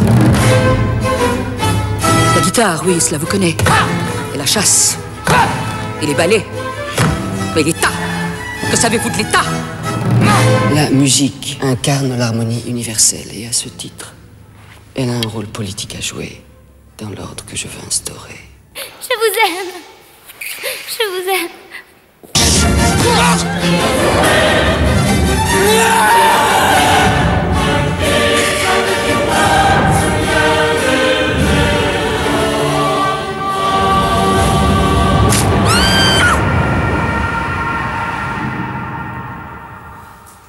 Voilà, le roi danse de Gérard Corbiot, avec Cheikh Cario, Boris Terral et Claire Ken, qui est notre invité aujourd'hui, et Benoît Magimel aussi. Une bonne Voilà. comédie. Non, c'est un très beau film, très très beau film. génial. Farinelli, c'était déjà assez génial, faut dire les choses. Alors, vous avez vu dans tout un tas de films, Le Petit Marguerite de Laurent Benegui en 94, hein, euh, La Belle Verte de Colline Serrault en 95, J'irai au paradis, car l'enfer c'est ici de Xavier Duringer. Vous avez joué la même année, euh, c'était en 97, avec Giraudot au théâtre euh, dans Le Libertin, Ouais. euh, d'Éric Emmanuel Schmitt. À la télé, on vous a vu avec Florence Pernel dans euh, Le juge est une femme. Mhm. Les yeux d'Hélène, qui était la Mhm. suite des, des Cœurs brûlés. Donc vous avez déjà une. Et bientôt, ah oui, bientôt, il y a le roman de Lulu, parce que Sandrine Kiberlin était là. Et elle nous a parlé de cette pièce qui a été écrite par son père, pour elle. Ah oui. Vous connaissez l'histoire. Oui, très très bien. C'est insensé. C'est-à-dire que le père de Sandrine Kiberlin, je dis à nos amis qui n'ont pas vu l'émission, Ouais. il écrit une pièce sur une jeune fille euh, qui est amoureuse d'un homme euh, plus, plus âgé, Mhm. sans lui dire qui l'avait écrit. Et c'était lui qui l'avait écrit pour elle. ouais, c'est sublime. Et elle avait fait sur scène avec Darmon, je crois, à l'époque, hein, ouais, c'est ouais. ça, en 96. Ouais, c'était Et il y a un magnifique. film qui sort avec Thierry Lhermitte. Voilà, mais alors malheureusement, je suis désolée, je n'ai pas le droit d'en parler. Je ne peux pas en parler. Ah bon? Je ne peux pas. Pourquoi? C'est terrible, je pensais que vous le saviez en fait. Je, pour le moment. Ah mais il faut jamais me dire j'ai pas le droit d'en parler. parce que voilà, moi- je sais, vous allez me poser plein de questions. Non, non, non, non, parce que je veux pas être mal élevé avec non, vous, non, mais mais... en fait, le truc, c'est que la- le film va sortir en avril. Et euh, j'aurai le droit d'en parler à ce moment-là. Ah oui, le je 11 peux avril, pas- ça sort, oui. Voilà. Ouais. Bon, on va dire que parce que c'est vraiment, film... j'adorerais en parler, je vous promets. Ouais, Vraiment. c'est un film de Pierre-Olivier Escoto, c'est Ouais. tout ce qu'on peut dire. hein. Mm. Mais qu'est-ce que vous allez faire si vous pouvez pas en parler alors? Vous allez chanter? Je sais pas. C'est comme vous chantez, vous chantez bien? J'adore chanter. On fait un duo? Je sais pas. euh, Oh, je vais vous chanter. Je sais pas. Une je chanson que vous connaissez Je sais bien. pas, vous aimez le blues Je je sais pas. Dites-moi, dites- dites-moi des titres, je vais vous dire. On fait jukebox vivant. La ma chanson un peu fétiche, celle Voilà. grâce à laquelle j'ai réussi à décrocher le rôle de au paradis car l'enfer est ici, c'est une chanson qui s'appelle Proud Mary. Ah, je la connais. Ah, elle est bien Je la connais en plus. Ah, Proud Mary. On peut baisser un peu la lumière, non, Serge, parce que Claire va nous chanter Proud Mary. Attention. Ah, vous faites ça carrément Allez. I left a good job in a city, mm, working for a man every night and day. And I never saw one minute I was sleeping till I reached a ride on the riverboat queen. Big wheels that keep on turning. From Mary keep on burning. She's rolling, Rolling, rolling, rolling, rolling on the river. Mm, she's rolling, rolling, rolling, rolling. rolling on the river. Ouais, bravo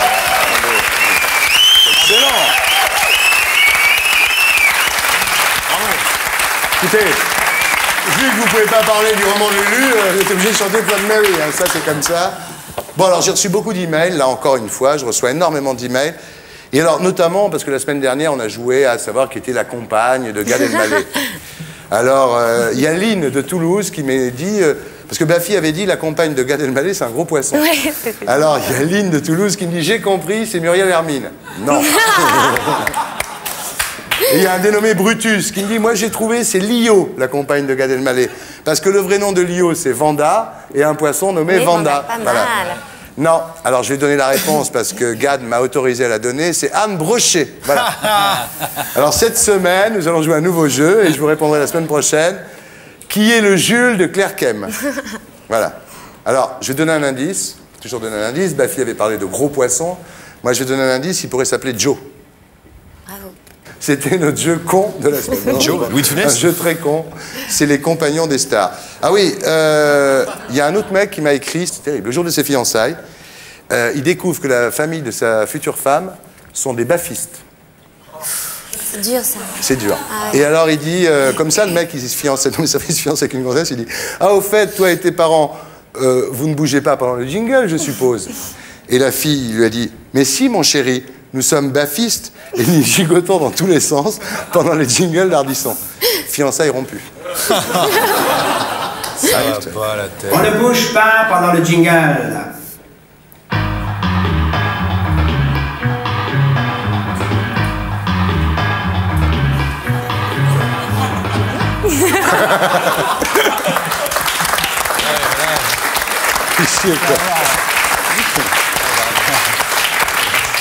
Voilà. Et voilà. Et voilà. C'est pas grave. Claire, attention. Heureusement que Naomi est partie parce que là, elle aurait dit Oh, bah monsieur, you're mysterious, not correct. Hein. Excusez-moi. Qu'est-ce qui vous fait rire jaune? Le cynisme. Ah oui, vous aimez pas le cynisme? Horreur de ça. Ah, c'est marrant ça. Je- Ça vous. Ça vous... ça- oui, ça, me- ça me rend malade. Je, je trouve que c'est c'est triste. Je trouve ça. ouf. Ouais. L'ironie, c'est drôle. Le L'ironie, c'est drôle. D'accord. Qu'est-ce qui vous rend verte de rage? L'utilisation de l'ignorance des gens à des fins douteuses. Ah ouais, Ouais. les médailles miraculeuses, tout ça? Ouais, entre autres. Les guérisseurs, les mages, les. Et Ouais. même des choses plus graves. La télévision. Quoi, par exemple? L'extrémisme. Ouais. Qu'est-ce qui vous rend rouge de honte? Ben ça, voilà. Le résultat de l'utilisation de l'ignorance des gens. Et bleu de peur. Qu'est-ce qui vous peut rendre bleu de peur Ben là, tout à l'heure, en arrivant. Ah ouais Et les requins. Ah, et les requins Ah, les requins, c'est pas possible. Ah bon Non. Et là, tout à l'heure, vous avez... Non. Ah si, je vous jure, c'est... Pourquoi Ben, parce que... C'est sympa, ici. Bah, bah oui, mais justement, parce que c'est sympa, parce que c'est une bonne émission, tout ça, Ouais. il y a un enjeu énorme, quoi. Ouais, il a dû vous raconter, votre Jules, dont je dirais non la semaine prochaine. Ça s'est bien passé pour lui. Bien. Qu'est-ce qui vous rend rose de bonheur Ben ça, Quoi ben oui. Ah, d'accord. Donc tout le monde est encore plus accro, non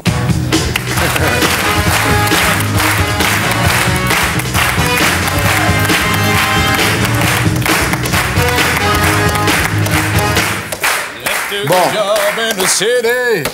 Ouais, c'était bien, hein. Ah, moi aussi, je suis chanté. oh.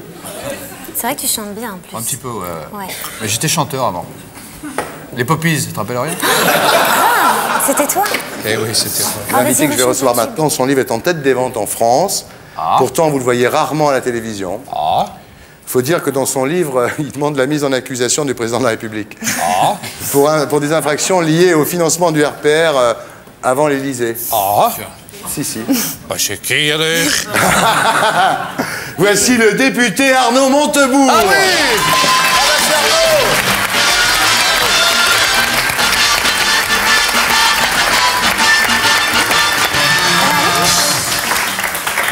Arnaud Montebourg, bonsoir, ça va Bonjour, Arnaud. Oh, le bien, look, dans- mais vous êtes vachement beau. Ouais. Oh, c'est salaud, arrête. Ah non, c'est pas salaud, il est très beau, non, non. Il est, il est beau. Vous trouvez pas, Claire Ah, ça va, oui. Non, c'est rare un homme politique qui est beau. Ils sont moches en général. Ben, ça va pas durer, hein, vous savez. Ouais, en tous les cas, pour le moment, c'est bien. va fatiguer, hein. Bien réussi. Ouais. Bien. Alors, euh, on vous appelle souvent Arnaud de Montebourg. Et en fait, euh, c'est faux. La seule noble de votre famille, c'est votre femme, C'est exact. qui s'appelle Hortense de la Briffe. C'est exact. Ça Joli. Fait, fait nom de roman. hein. Euh, elle a épousé, le, c'est- ça doit être dur pour elle quand même, quand on s'appelle de la Briffe, d'avoir épousé le nouveau Saint-Just. Il y en a qui euh, euh, accélèrent les particules, moi je les attire. Je n'ai jamais d'ailleurs compris pourquoi, depuis 38 ans maintenant, on me colle une particule. Il y a même certains électeurs qui m'écrivent et qui me disent mais en fait vous l'avez dissimulé parce que vous voulez faire peuple. Bon, je, je confirme ce soir chez vous que mon grand-père s'appelait Henri, mon père Michel, et Ouais. il s'appelait Michel Montebourg. Et puis Voilà. votre mère s'appelle Leila Oulkadi, donc, euh, qui est professeur d'espagnol, et son père, vrai. elle, était algérien. Donc euh, finalement, oui. Ça n'a pas fait du souci non plus dans la famille euh, quand vous... Bah, écoutez, ça, ça concerne ma vie privée. Je, Ouais. peux- je ne souhaite pas en parler. Ah, il parce faut que- pas l'emmerder, lui, parce que si tu veux, il s'attaque à Chirac, donc si tu veux, moi, il en fera qu'une bouchée. moi. Je- je- Enfin, tout de même, quand vous dites professeur d'espagnol, c'est avec un petit D, hein Oui. D apostrophe. Oui, quand même. Il y a quand même une particule quelque part. C'est bien ce que je disais. Alors, faut pas le faire chier, Montebourg, parce qu'il est, il est décidé comme garçon. hein, oui. Donc, vous avez fait des, des études d'avocat, vous avez fait de la politique, alors vous étiez fabiusien. Et alors, vu que j'en tiens un, parce que j'en ai jamais vu, vous allez me dire, qu'est-ce que c'est qu'est-ce que c'est être fabiusien Parce qu'être socialiste, bon, on voit à peu près. et- Au moment où Laurent Fabius était Premier ministre, nous étions à cette époque des militants qui essayions de gamberger un peu sur euh, qu'est-ce que le pouvoir quand on est de gauche.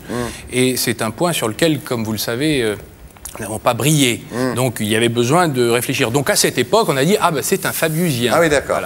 Vous faites des études d'avocat, donc comme je l'ai dit, en 94, vous êtes commis d'office pour défendre Christian Didier, qui était l'assassin de René Bousquet.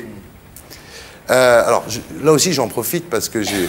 euh, il n'a pas été manipulé, Christian Didier. Mais écoutez, s'il l'avait été, euh, la défense euh, à laquelle je participais s'en serait emparée, car c'était une manière de encore mieux le défendre. Et nous ne l'avons pas fait parce que nous n'avons pas. euh, Si vous euh, pensez trouvé- vraiment, attendez, les éléments qui nous auraient Bousquet, permis personne n'arrivait à le juger depuis des années. Il y a Oui. un type qui un jour sonne chez lui, qui s'appelle Christian Didier, qui lui tire deux ou trois balles de revolver. Et vous pensez pas que le type, on l'a un petit peu aidé, on l'a un petit peu poussé à faire ça? Didier a, a toujours expliqué qu'il avait pris cette décision. En vérité, c'est un garçon qui voulait se suicider et qui a dit bah, plutôt que euh, me suicider, ce qui serait absolument inutile, j'ai envie d'être utile euh, Ah. aux hommes euh, sur Terre. Donc nous, avions- nous avons essayé de défendre son acte. D'ailleurs, il a été condamné de Hmm. À façon très peu. très injuste à 10 ans d'emprisonnement Oui, et de il est réclusion criminelle. Et je vais vous dire, 10 ans, c'est plus que Bousquet, Papon, Touvier réunis. Oui. Donc, euh, Mais il est sorti, Didier, depuis, non? il, est, il vient de sortir. Mais je vais vous dire que euh, quand, on a, quand on a entendu un certain nombre de généraux de la résistance qui sont venus à la barre Mhm. dire euh, s'il avait commis cet acte en 1944, il aurait eu la Légion d'honneur. Et aujourd'hui, vous voulez le condamner, c'est injuste. Euh, cela n'a pas ému le, le jury, ce que je comprends. Attendez, si. Ce que je comprends. Bien entendu, parce qu'il y a une justice en France, on ne fait pas justice soi-même. Bien sûr, pas vous qui allez me dire à condition qu'elle fonctionne. Ouais. Et elle ne fonctionnait pas, Sur vous avez Bousquet, raison oui, de le rappeler. Alors, ça, c'était en 94. En 95, Juppé est Premier ministre. Et là, alors, vous attaquez Juppé. Il faut, faut voir, il est Juppé parce qu'il y avait des baisses de loyer qui étaient accordées à son fils, euh, qui était locataire de la, de la ville de Paris. Euh, ensuite, vous attaquez d'abord au fils, ensuite au père. Euh, résultat, le, père a eu un redressement à payer pour son fils, mais le Alain Juppé n'a été condamné à rien. hein. Non, mais c'est peut-être, on pourrait peut-être résumer l'affaire autrement. On pourrait dire, euh, il y a 70 000 personnes qui attendent un logement euh, à Paris. On ne les leur donne pas. Et il y a un parc qui s'appelle le domaine privé de la ville de Paris qui sert euh, aux dignitaires de la ville. Bah oui, on avait le qui Henri d'Orléans la semaine dernière qui en a largement profité pendant 10 ans. oui, oui. et qui permet d'obtenir des logements à bas prix, en dessous du marché, et en plus de les avoir neufs quand on entre dans les lieux, parce que ce sont les contribuables qui payent les travaux. Et tout cela pour la famille. Alors avec euh, euh, des petits duplex, euh, des séparations. Alors il y a un moment, pendant 20 ans, le canard enchaîné s'est gaussé de tout ça. Puis un jour, eh bien, euh, il y a quelqu'un qui est venu me voir, qui a dit maintenant ça suffit, un bon citoyen qui paye des impôts à Paris, qui a dit est-ce que vous ne voudriez pas être mon avocat Et j'ai un peu réfléchi, j'ai constaté une infraction pénale, et je me suis dit est-ce qu'un Premier ministre, comme n'importe quel citoyen, doit respecter la loi? Ma réponse a été comme celle que vous auriez pu avoir oui. Donc à partir de là, on a saisi le procureur. Le Voilà. procureur a euh, pris la décision de ne pas poursuivre le brave Premier ministre de l'époque. Alors finalement, euh, il a déménagé. C'était déjà ça. Mais enfin, euh, le préjudice au, au- détriment des caisses publiques n'a toujours pas été réparé. Mais enfin, on ne va pas s'acharner. euh, Avant le président de la République et après Juppé, vous êtes attaqué à Monaco. C'est vous qui avez été responsable euh, euh, du dossier qui est sorti, du- du rapport qui est sorti il y a quelques semaines sur le blanchiment d'argent à Monaco, qui nous a valu quand même pratiquement une guerre avec la principauté. Quelle guerre Ah bah, il s'est très énervé, le prince. Bah, Enfin, une interview dans le Figaro, ça n'a jamais été Bah, un acte pour de Monaco, guerre. bah, attendez, pour Monaco, oui, parce que compte tenu de l'importance de l'armée de Monaco, une interview dans le Figaro, c'est la Blitzkrieg. Écoutez, moi, je, je n'ai rien à dire là-dessus. euh, J'ai fait vous mon avez travail. trouvé quoi? Non, non, si, si, vous allez nous dire ce que vous avez trouvé, parce que... Si vous voulez. Ce que nous avons constaté, c'est que euh, nous avons constaté que des délinquants euh, qui blanchissent l'argent de la drogue, par exemple, nous ont parlé, qui ont été condamnés à de très lourdes peines aux États-Unis. Nous avons pu les, les interroger dans leur prison euh, au fond du Mississippi. Ils nous ont parlé, ils nous ont dit, ben oui, à Monaco, je suis arrivé avec 80 millions de, francs, de dollars, euh, voilà comment on fait, d'ailleurs, allez à telle banque, donnez les adresses. Et puis ensuite, nous, sommes, nous avons trouvé un témoin extraordinaire, qui est de l'autre côté, en quelque sorte, euh, qui est un, un banquier d'une très grande banque, très puissante euh, à Monaco, et qui nous a expliqué exactement la même chose que le délinquant. Donc quand le déontologue, le banquier et le délinquant pensent la même chose, je pense qu'on est en face d'un système. Et c'est ce système que nous avons dénoncé, euh, décrit, et nous avons prié la principauté de Monaco, si elle voulait éviter les sanctions de la communauté internationale, de se mettre aux normes. Vous pensez qu'il y a une volonté politique au sein du gouvernement en France aujourd'hui, euh, euh, de l'État français, pour lutter contre ça Ou au contraire, il y a des arrangements Il y en a eu pendant longtemps, mais je crois que là, c'est plus possible parce que la France a pris la tête en Europe d'un grand mouvement de lutte contre euh, le secret bancaire et tout ce qui permet de recycler l'argent euh, issu de crimes graves. Et Monaco en fait partie. Euh, et il n'est pas possible que la France donne l'impression, alors qu'elle tient un langage très rigoureux, très exigeant à l'égard de ses partenaires, de Ouais. tolérer Ouais. une principauté dans laquelle elle a des intérêts directs. Et ça, c'est inacceptable. Luc? Pensez, j'ai- j'aime pas me citer, mais je- je- de Monaco, ça fait parfois peur. Et il y a à la, à la page 3 de, de- de mon bouquin un, un- un- un dessin qui parle de ce terrible sentiment d'insécurité à Monaco. Ouais. Page C'est 3, ça, vous avez dit. En bas, en bas. Oui, oui. Il paraît que même à Monaco, les rues ne sont plus sûres. Premier dessin. Les milliardaires n'osent plus sortir le soir. Il y a des millionnaires qui rôdent.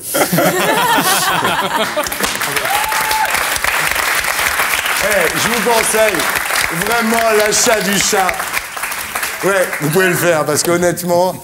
Bien, alors vous, euh, vous tenez à rester euh, irréprochable. hein, euh, vous dites, j'ai jamais eu d'emploi fictif, il n'y a pas besoin d'avoir d'emploi fictif pour faire de la politique. Moi, j'étais avocat, voilà. Vos revenus sont publiés sur Internet. C'est comme ça qu'on. Parlementaire, oui, c'est de l'argent public, c'est normal. Ouais, ouais, et on sait que vous avez 1750 francs à la caisse d'épargne. Non, plus maintenant. Ça, c'est quand j'étais élu, c'est vrai. Ouais, vous avez combien maintenant? Je sais pas, je crois que je l'ai fermé. J'ai- dû le dépenser. Vous ah, bon, vous inquiétez avez- ah bah, vous n'en avez pas plus Euh, non, non, je n'ai pas plus. Hum, Non. Alors, vous publiez La machine à trahir chez De Noël, attention. Qu'est-ce qu'il faut faire? Il faut, comme si vous une ampoule. Oh. Ça- C'est l'applaudissement chez les sourds-muets. Me dites pas que vous méprisez les sourds-muets. Non, pas du tout. Vous faites pas. Je fais une variante, moi je fais des moulinets en même temps. Mais Vous me permettrez d'être indiscipliné, comme je le suis dans d'autres enceintes, n'est-ce pas? infernal. Voilà, j'ai approuvé. C'est un rebelle. Ah C'est un punk. Bon, il a publié un livre.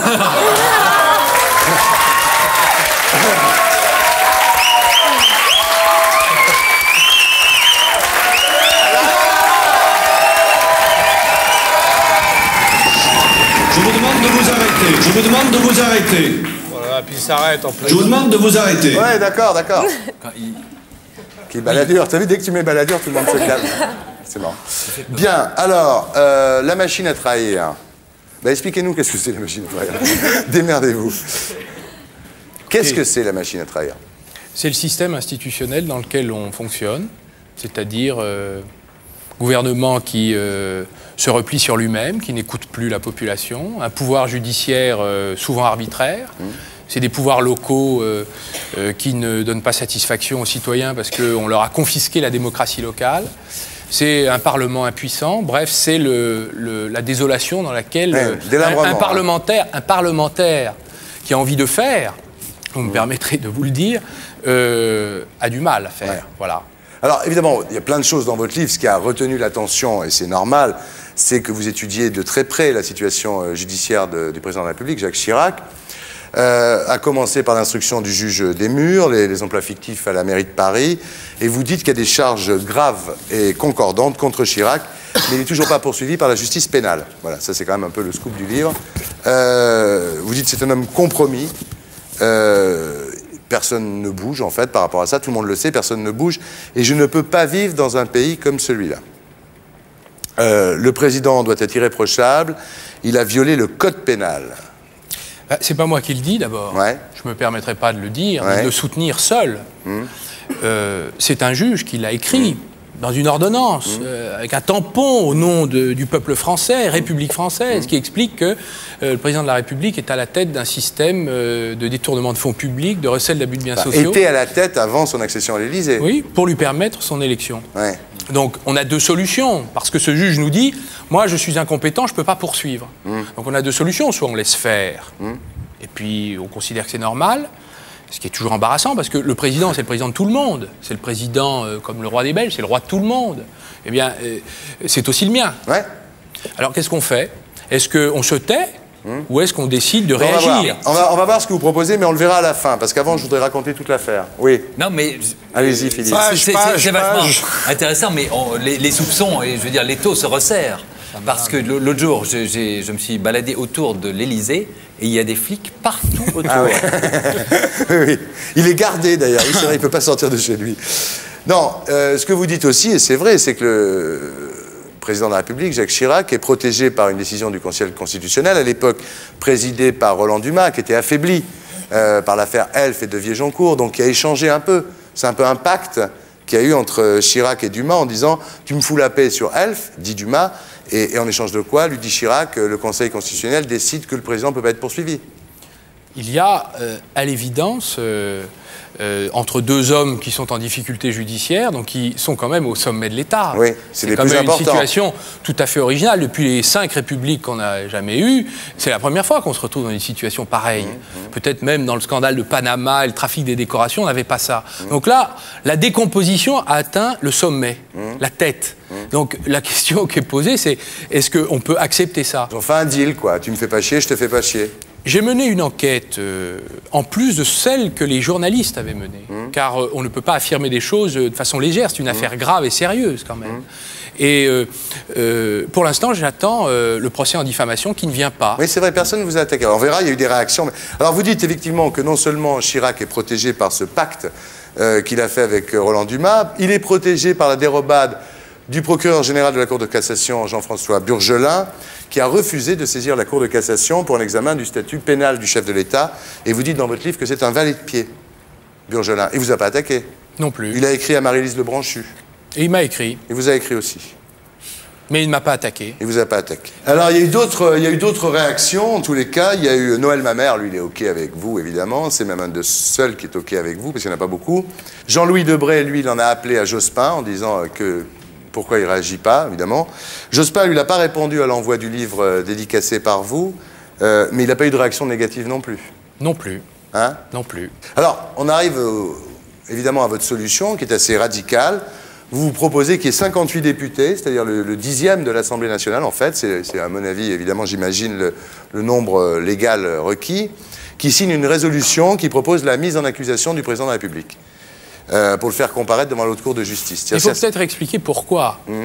Parce que ça, c'est la Constitution. Lorsque la justice ordinaire ne fonctionne pas, puisqu'il y a une immunité qui était offerte par le Conseil constitutionnel, le manuel aujourd'hui euh, de la poursuite pénale contre le président de la République, quel qu'il soit, c'est la Haute Cour de justice. Ouais. Et qui saisit la Haute Cour de justice? Ce n'est pas un procureur, ce n'est pas une association de contribuables, ce sont les députés, malheureusement. D'ailleurs, je voudrais vous dire qu'au Pérou, le président Fujimori a fait l'objet d'une tentative, et même euh, qui a réussi, de destitution. Le président Estrada aux Philippines, également, pour des histoires de pots de vin, et il est en, en cours de destitution actuellement. C'est le Parlement qui décide ça. D'ailleurs, Richard Nixon lui-même, euh, Bill Clinton a fait l'objet l'année dernière d'une tentative aussi. C'est quelque chose d'assez courant. Dans notre pays, c'est un sacrilège. Je ne comprends Ouais. pas pourquoi. Donc s'il y a 58 députés qui signent pour demander la mise en accusation du président de la République devant la Haute Cour de justice, il- il peut- Roland Dumas ou pas, il y passe.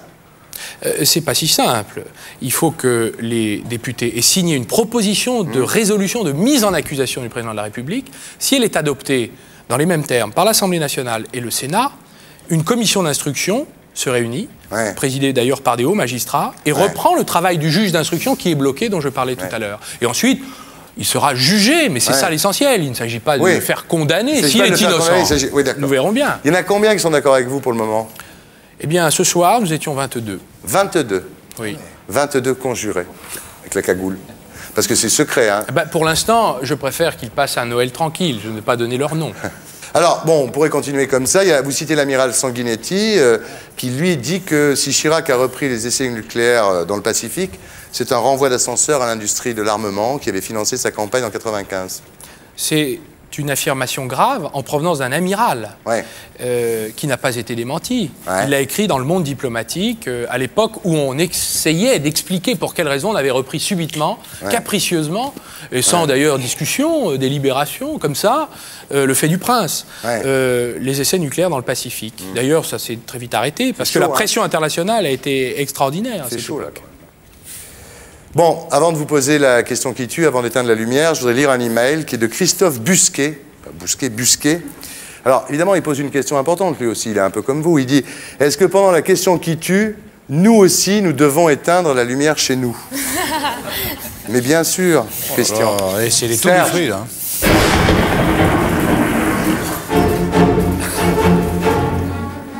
Alors Arnaud Montebourg, est-ce que vous ne pensez pas que vous seriez quand même plus crédible si vous vous occupiez parallèlement des affaires de la MNEF et pas seulement de Chirac, mais aussi de M. Le Guen, de M. Cambadélis, de M. Dominique Strauss-Kahn Ah bah. Et confiance je vais vous dire.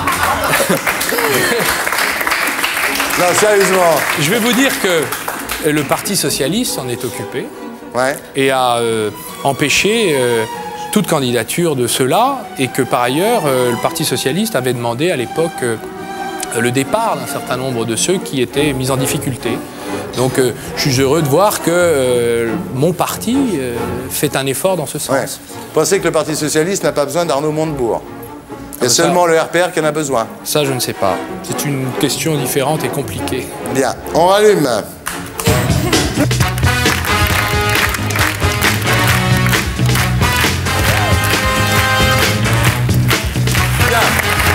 Vous restez avec nous. Alors, il y, en a- il y a quelqu'un qui ne va pas rester avec nous non plus toute la nuit, c'est Belinda. Comment ça va, Belinda? Oh, mais je commence à être un peu fatiguée, j'allais filer à l'anglaise. Dites-moi, Belinda, ça s'est bien passé, vous êtes content? Oh, je suis ravie. Moi, j'aime bien votre émission et puis on s'est bien marré. Je- je- une- juste une petite Ouais. question technique. Vous continuez à traduire tout ce qu'on dit euh, Ouais.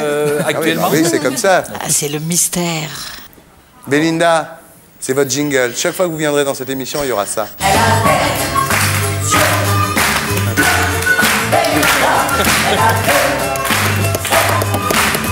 Au revoir Belinda. Au revoir, Au revoir Belinda. merci beaucoup. Merci Bye bye. beaucoup à tous. Et j'accueille maintenant Axel Red.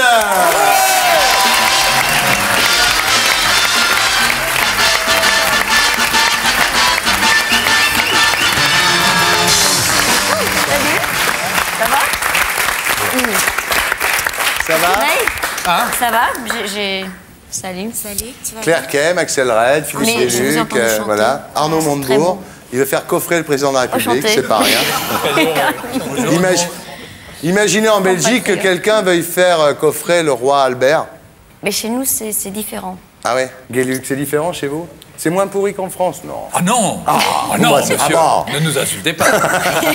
nous sommes à la pointe. Vous savez que la Belgique a été à un moment considérée comme le pays le plus corrompu en Europe après la Sicile. Ah oui Ah oui, c'est une place qui nous honore. Donc d'accord. On est, on est, si vous voulez, presque top euh, numéro un dans ce domaine-là, et on est lanterne rouge dans- en termes d'investissement public. Ah d'accord. Donc, si vous voulez, on cerne un peu le peloton, là. Oui, On est à l'avant et à l'arrière. Mais on se tait. Arnaud, faut y aller Non, ils ont fait une chose extraordinaire en Belgique, le mouvement blanc, Hmm. qui était un vrai mouvement de société, qui a essayé de submerger le- la paralysie et l'impuissance des institutions, qui a laissé des grandes traces. Euh, je ne sais pas ce que ça a donné Ah ben, maintenant. je vous rassure, rien. Il y a, il y a eu cet formidable espoir au moment de la marche blanche où 350 000 personnes, en Belgique c'est énorme, Bah oui. sont descendues pacifiquement dans la rue pour dire leur C'est indignation. comme le franc belge, faut multiplier par 10. Hein. pour, dire, pour dire leur euh, indignation. Et on n'a rien cassé. On aurait peut-être dû tout casser ce jour-là. voulais faire des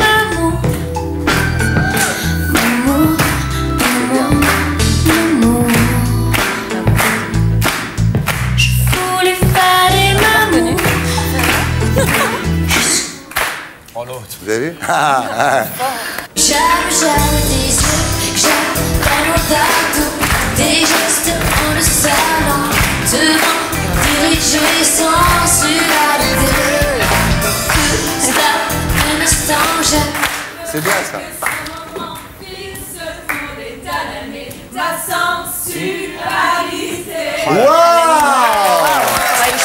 Vous êtes le meilleur public du monde. Je peux essayer, Thierry, je peux essayer aussi. Ouais, ouais. Ta sensualité. Ça marche. Suffit qu'il bouge, suffit qu'il tremble. Moi je le sens, baby, à ta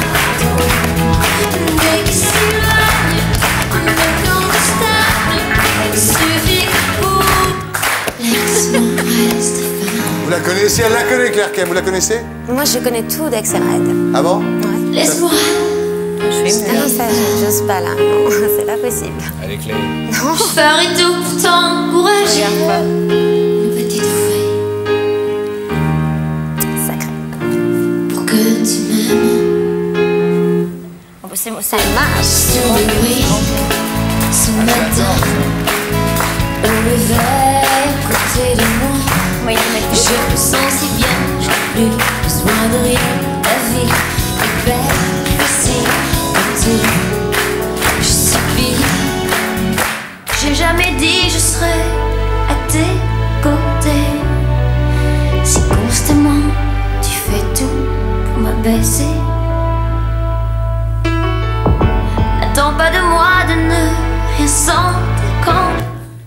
va faire un peu de pub, on va continuer, voilà. Et là, vous êtes obligé de le faire, c'est plus vous là.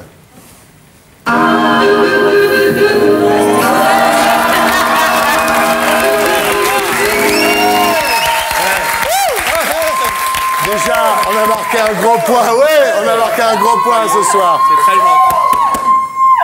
Allez, choisis, Arnaud, prends celle que tu veux Arnaud.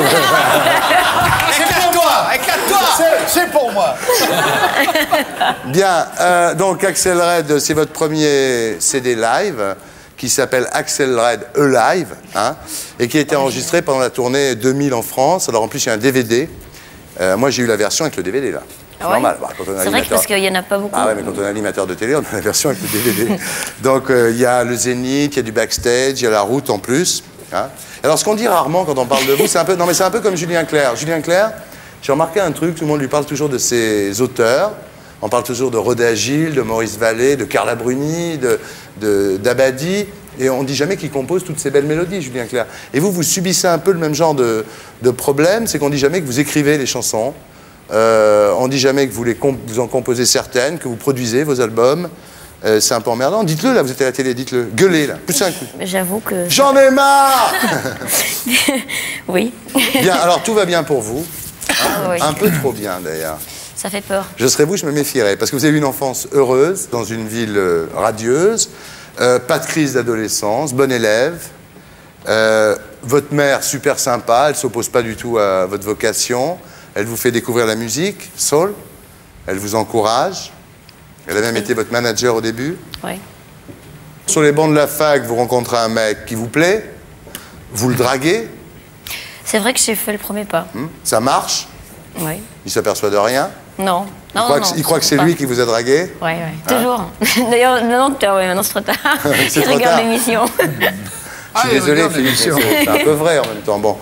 Euh, son but, c'était d'organiser des concerts. Vous, c'était de chanter. C'est un conte de fées, sa vie. Il y a que des... Moi, je cherche, hein, quand je prépare une interview, je cherche ce petit truc. Je ne... Tu trouves tout, hein J'ai trouvé à la fin, quand même. Euh, entre vous, ça va très bien. Oh, bah, Je vais pas sortir tout, tout mon, mon là. Mais c'est vrai, mais je le Non, dis, moi. marche, fidélité bien. absolue, vous êtes toujours ensemble, ça fait combien de temps? 12 ans. 12 ans? Vous êtes marié à Marrakech en 98, mais c'était plutôt une façon de célébrer euh, les 10 Nos ans 10 de... ans, ouais. Voilà, hein Le mariage, c'est pas très important. Voilà, un an plus tard, Ouais, je le petit bébé arrive. Mais de quoi se plaint-on? On va, se pleurer, on va pleurer là. un, un beau bébé, bon, il y a un problème de prénom, évidemment. Jartel. Ouais, ça fait un peu Jartel ou Javel. Bon, on l'appelait Janelle. Bon, mais à part ça, peut-être qu'en Belgique c'est bien, vous êtes en bonne santé, Je, je crois, oui. pas d'alcool, pas de sucre, pas de sauce, pas de café, ça doit être drôle chez vous. Pas de dessert, pas de lait, 3 litres d'eau par jour à la gonzesse. Non, Bon, non mais bon, vous êtes plutôt... on doit se marrer avec elle, hein je mange de la vache. Ah oui, manger de la vache. Non mais on doit se marrer chez vous. Bon, vous soutenez les grandes causes, attends, que des, que des qualités. Oui, je- Euh, vous soutenez les Restos du Cœur, l'UNICEF, Amnesty International, Solidarité SIDA, les Victoires de la musique, autre grande cause. Euh, vous êtes vraiment une fille sans, sans histoire, sans problème, voire même un peu lisse. Est-ce que j'ai leur lisse? Bah non, je sais pas, jusque-là. Alors Ouais. j'ai cherché. Je me suis dit, mais qu'est-ce qu'elle peut bien avoir euh, comme aspérité, comme truc, quoi? J'ai trouvé deux choses. Vous êtes fausse rousse. Je le dis, j'avoue. Ouais, vous le dites. Je l'ai dit dès le départ. Oui. Non, parce qu'au début, vous disiez, j'ai- comme vous avez des taches de rousseur, au début, tout le monde a cru que vous étiez une vraie rousse. J'ai toujours dit que j'étais une fausse rousse. Ah bon Ça, fausse c'est- rousse. et regarde, j'ai-. Bah. Ah ben oui, mais vous avez des repousses. les- les- Ah, vous en avez de la Et le chance. coiffeur est venu hier soir. Ah, ben, donc. Vrai en euh, plus. la semaine dernière, on avait une dénommée Caroline Ducé, dont le vrai nom était Trousselard. non, ce qui est chiant, c'est qu'elle a Tu joué. pas dans- dire mon vrai nom Elle a joué avec Ah, Rocco Siffredi. Ah oui, le faire. hein, Quand tu t'appelles Trousselard en même temps. Euh, donc, vous, vous n'êtes pas une vraie rousse, et puis à votre vrai nom. Ah Ah non, voilà, ça. Non, Ah non, je- ça c'est vraiment salaud. ça, c'est ça, c'est salaud. Oui, hein. parce que moi je le connais et non, ça c'est. Est ne grave pas attirer. Moi je n'ai jamais rien dit. Je n'ai jamais rien dit à Non, non, mais tu trouves qu'il est, qu'il est tellement. De le dire. Bah, de toute façon, si je le dis pas ce soir, je dirai la semaine prochaine. hein. Donc c'est à vous de choisir. Vous pouvez vous défendre ce soir. Non, parce que moi, je vais avoir plein d'emails. Moi, j'ai mon je, public. on choisit pas son nom. Non, mais bien sûr, moi, je m'appelle Thierry Ardisson, Arnaud Montebourg. Mais je- euh, moi, si j'étais vous, j'aurais changé de nom. Bah oui, je sais bien. C'est... bon,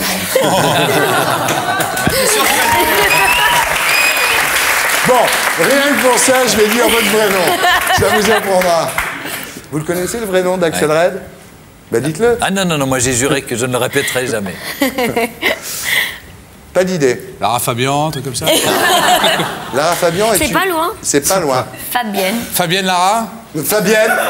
Fabienne Demal. Pas beau, hein. Voilà, écoutez, je vais vous dire un truc. Merci. Maintenant, hein. voilà, maintenant Je c'est fait. qu'on était des potes non, aussi, je veux dire, mais- non, mais attendez, Axel, maintenant c'est fait, Joli fait. de mal. C'est fait, attendez. C'est pas avec un petit 2. Oui, c'est pas comme deux Montebourg. Non, mais maintenant c'est fait. Il fallait que ça vous arrive un jour. Ouais, mais tu vois, je veux dire, on cherche un nom, un, un pseudonyme pour, être, pour rester anonyme. Oui. C'est foutu un peu. Vous m'en voulez là. Trop tard.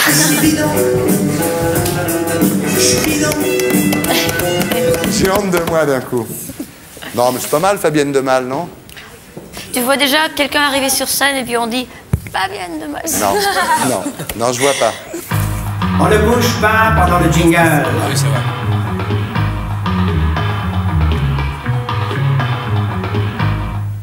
Alors là, tout le monde peut jouer. Vous pouvez jouer, Philippe, euh, vous pouvez jouer, Olivier, tout le monde peut jouer, Arnaud, vous pouvez jouer.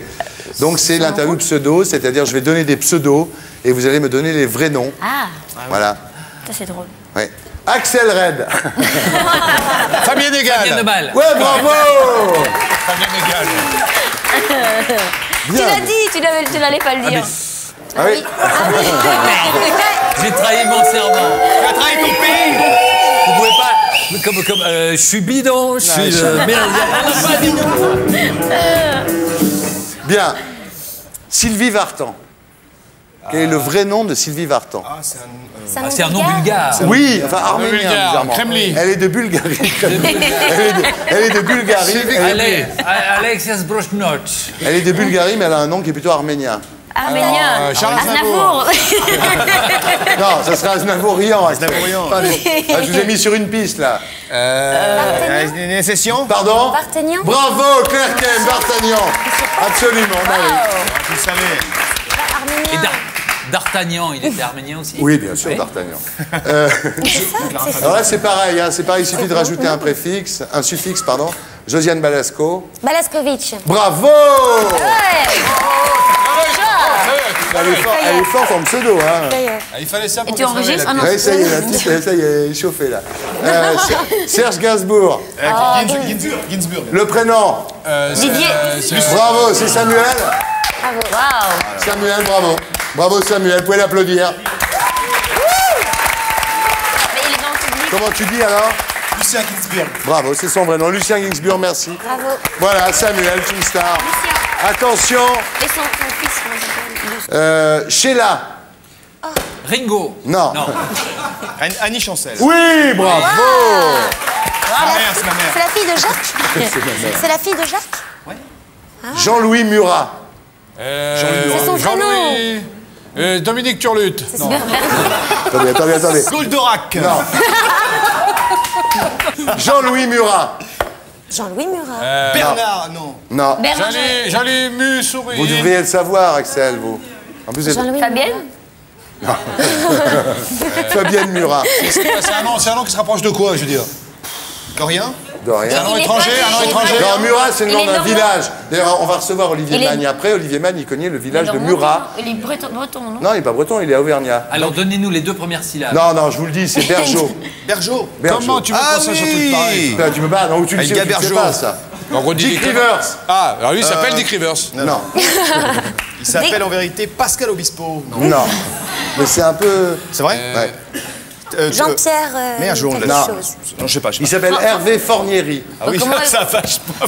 Il a bien fait de changer en même temps. hein. C'est comme toi. Oui, en même temps. Michel Berger, vous le Ah, savez euh, ça quand même. Daniel Oui, c'est euh, Euh, hamburger. Bravo Claire Kem. Hamburger Hamburger. Ah ouais, en Burger, mais vous êtes Mais c'est le fils d'un professeur. C'est le fils du premier. Sa mère était une un pianiste classique. ça. Quand Kennedy était à Berlin et qu'il a dit son Ich célèbre bin ein Berliner. Ich bin ein Berliner, et plusieurs années après, Reagan était à Hambourg et il a dit Ich bin ein Hamburger. Bien, on termine pour ceux qui suivent un petit peu l'émission. Le vrai nom et le vrai prénom de Dave. Daniel Minivag. Non. À mon avis, c'est Joost van den Bernard Dorpel. Gouda. Non. C'est hollandais. Joost van, Joost Non, ça c'est son amant. David. euh. C'est quoi C'est un nom, euh, un nom hollandais Un nom vraiment hollandais. Hans. Ekaufonia. Pas le Joop. Comment Bravo Eh bien, viens, Forrest. Ah, bravo Bravo Voilà, voilà quelqu'un qui suit l'émission. Hein Bien, Wouter Ledenbach. Ben bravo. Bravo, bravo.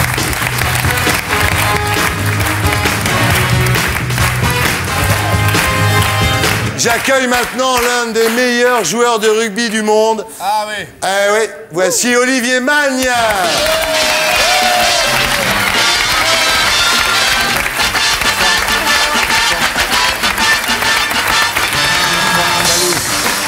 Alors ça ira, pour, ça ira pour tous les emails que je reçois de filles me disant Thierry, il y a toujours des jolies filles dans ton émission, il n'y a jamais de beaux mecs.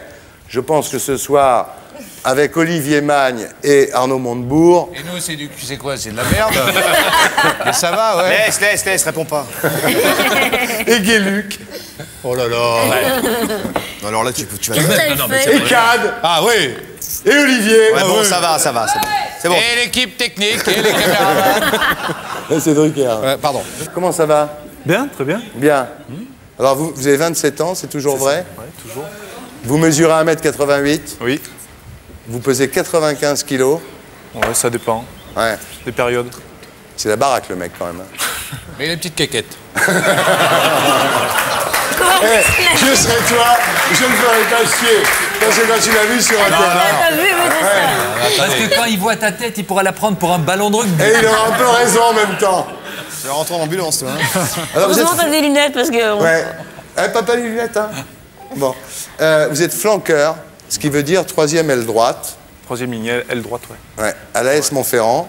Ah, Mais lui, il faut pas le faire chier parce qu'il fait combien? 11 secondes 50 au 100 mètres, c'est ça, non? Ouais, par là. Et il y a plus fort que vous? John Alomou, il va plus vite, beaucoup plus vite. Ah bon? Bon, même en équipe de France, il y en a qui vont beaucoup plus Oui, vite. mais John Alomo, il n'arrive pas à s'arrêter. On s'y attend- on s'y attendait. Mais, mais vous savez comment, vous savez comment, parce que j'ai appris, euh, il y a des secrets de, de votre métier qu'on ne peut pas révéler, mais moi j'ai su comment on entraîne les joueurs qui doivent, voir, qui doivent jouer contre le mou. Ah ouais Ils s'entraînent contre des TGV lancés à pleine vitesse. Alors, on va vous voir jouer. Là, c'était le 18 novembre 2000, donc il n'y a pas longtemps. Énorme. Ah, vous avez rebattu les, les All Blacks, 42 à 33. C'était à Marseille. Et vous avez marqué le deuxième essai français. Et on vous admire beaucoup.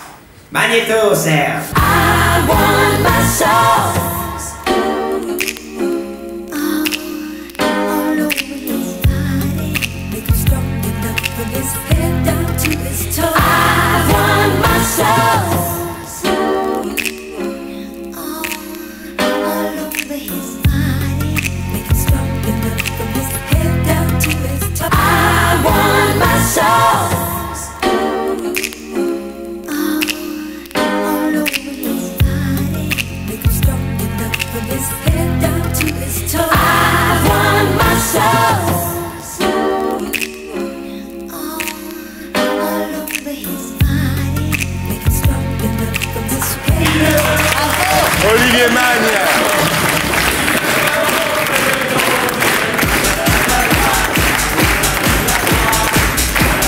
Bravo. bravo. Alors c'était un remake, ça c'était un remake du match du siècle contre les All Blacks que vous aviez battu avec l'équipe de France 43 à 31 pendant la Coupe du Monde. Euh, vous avez été absolument héroïque. Mais on a un petit peu oublié à cause de ça la finale que vous avez perdue contre l'Australie. Pourquoi vous avez perdu contre l'Australie bah, tout simplement parce qu'ils étaient, euh, ils étaient plus forts que nous. Et puis je crois qu'on était sur. euh, on était Vous aviez sur- beaucoup donné euh, euh, durant le match contre les All Blacks, non Plutôt? Ouais, beaucoup. Et puis bon, on était sur un petit nuage quand même après notre victoire. Et puis parce que c'était vraiment inattendu. Et puis euh, on n'a pas su, je pense, se reconcentrer pour, pour cette finale et, et l'emporter. Ouais. C'est dans la tête que vous l'avez perdu? Oh, je pense, ouais. Ouais. Et vous- quand vous êtes entré sur le terrain, vous saviez que vous n'alliez pas gagner? Non, on, avait, on était très motivés, mais bon, on s'est heurté à une muraille australienne. Ils avaient pris qu'un essai durant toute la compétition et, euh, et ça a été très dur que de, de jouer contre eux. Alors Olivier, tout le monde a été surpris euh, pendant la Coupe du Monde par votre absence de, de pression avant les matchs. C'est-à-dire vous dites j'aime pas l'ambiance commando, j'aime pas l'ambiance ah, comme ça. Et vous êtes top cool. euh, tout le monde était très surpris par ça, par votre capacité à vous extraire de la pression du match. Ouais, complètement. Je crois que, enfin, moi, personnellement, il me faut très peu de, de temps pour, euh, pour me mettre dans le match et pour me motiver. Donc, euh, la veille, euh, j'ai pas du tout de, de mal à dormir comme, euh, comme la plupart de mes partenaires. Ouais. Et, puis, euh, et puis, en 10 minutes, un quart d'heure, j'ai, euh, je peux me concentrer sur, sur le match et, et de suite rentrer dans, dans le vif du sujet. C'est un super héros. Parce qu'on ne sera jamais CAD. Oui, mais.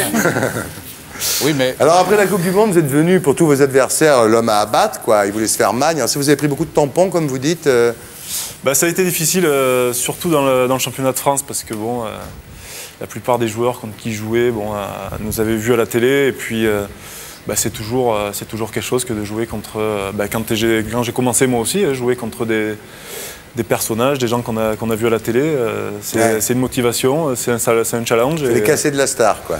Et donc, euh, des fois, c'est pas, c'est pas facile. ouais. Ouais. Alors vous êtes devenu un petit peu le porte-parole du rugby français, parce que vous êtes le plus star. euh, euh, donc vous ouvrez votre gueule quoi, à la place des autres.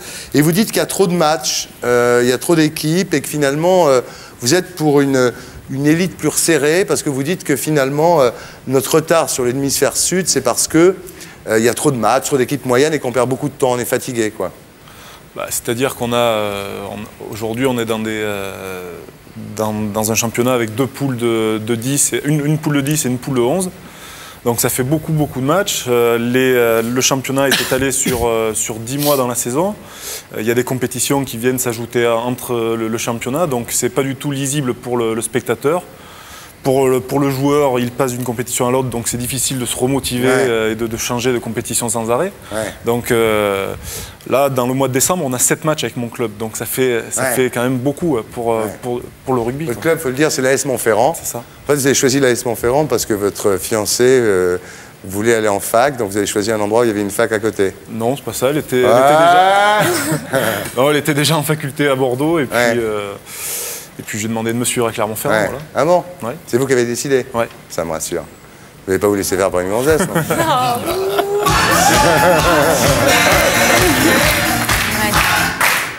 Alors, euh, dans l'hémi- dans l'hémisphère sud, vous dites quand ils regardent nos matchs, ils rigolent. Pourquoi? Parce qu'on joue plus qu'eux, on est plus crevés, on est... Non, mais ça les, les fait rigoler parce que. Enfin, eux, ils ont. euh, Aujourd'hui, c'est eux qui ont la vérité parce que 4 Ouais. Coupes du Monde, euh, c'est 4, quatre Ouais. équipes de l'hémisphère sud qui ont remporté la Coupe du Monde. Mm. Donc, euh, jusqu'à preuve du contraire. Mm. Mais on, joue, on joue contre eux régulièrement et on arrive difficilement à les battre. Donc, Ouais. C'est vrai que quand ils regardent notre championnat et quand on voit le leur, avec le spectacle qu'il y a, le Ouais. nombre de, de personnes qui viennent dans les stades, ça les fait rire de voir un peu notre championnat avec euh, euh, des mini-regroupements, peu de jeux, un petit peu. euh, Vous avez débuté, alors c'est très bizarre, parce que vous avez débuté dans le rugby à l'âge de 6 ans et vous préfériez le ski. Ouais, tout à fait. Vous avez fait un sport-études de ski d'ailleurs au, au Fayet Saint-Gervais. Et vous dites en parlant du ski, je me voyais déjà champion du monde. Et puis vous n'arrivez pas à franchir le cap, c'est compliqué pour vous, euh, c'était coûteux pour vos parents, parce que votre père était maçon et votre mère était employée de mairie, donc c'était compliqué pour vous. Et à 17 ans, vous reprenez le rugby. C'est ça. Et vous devenez euh, ce que vous êtes aujourd'hui. Et vous dites, vous avez toujours des regrets sur le rugby, et ça, je trouve ça très, très étonnant chez vous. Vous dites, j'aurais voulu vivre plusieurs jeunesses pour tenter tous les sports. Exactement. ouais. Et vous regrettez vraiment d'avoir été obligé d'arrêter le ski C'est-à-dire, j'ai fait pas mal de, de sports individuels, je faisais pas mal d'athlétisme, de- Ouais. de, ski, euh, bon, à un, assez- un assez bon niveau. Et puis, euh, bon, je suis assez individualiste. Et donc, j'aurais euh, j'aurais aimé goûter la, la joie euh, d'une victoire pour, ça. pour soi. Et puis, mais c'est, je veux dire, le rugby nous apporte d'autres d'autres Non, mais choses. c'est vrai, vous dites ma, décep- ma, ma déception, c'est ma plus grande blessure, le- d'avoir arrêté le ski. C'est mon plus gros échec. La plaie ne se refermera jamais. J'ai pas su réussir quelque chose tout seul. C'est fou. Euh, J'ai choisi le ski pour que la victoire soit qu'à moi. Euh, et, et dans le rugby, évidemment, la victoire est collective. Donc vous regrettez toujours, c'est très intéressant ça, vous regrettez toujours de ne pas avoir su faire un sport où vous étiez le vainqueur tout seul. Bah ouais, parce que euh, je m'étais lancé un défi, j'avais vraiment envie de, de réussir, de réussir ça, et puis le ski, euh, je me suis euh, vite aperçu que j'avais j'avais Ouais. des limites. Et, euh, Mais vous ne devez pas regretter ça. Parce que dans le sport, comme vous le faites, dans le rugby, vous, vous êtes en, en constante progression. Vous montez, vous montez, vous allez encore monter. Et dans le ski, finalement, on ne fait que descendre.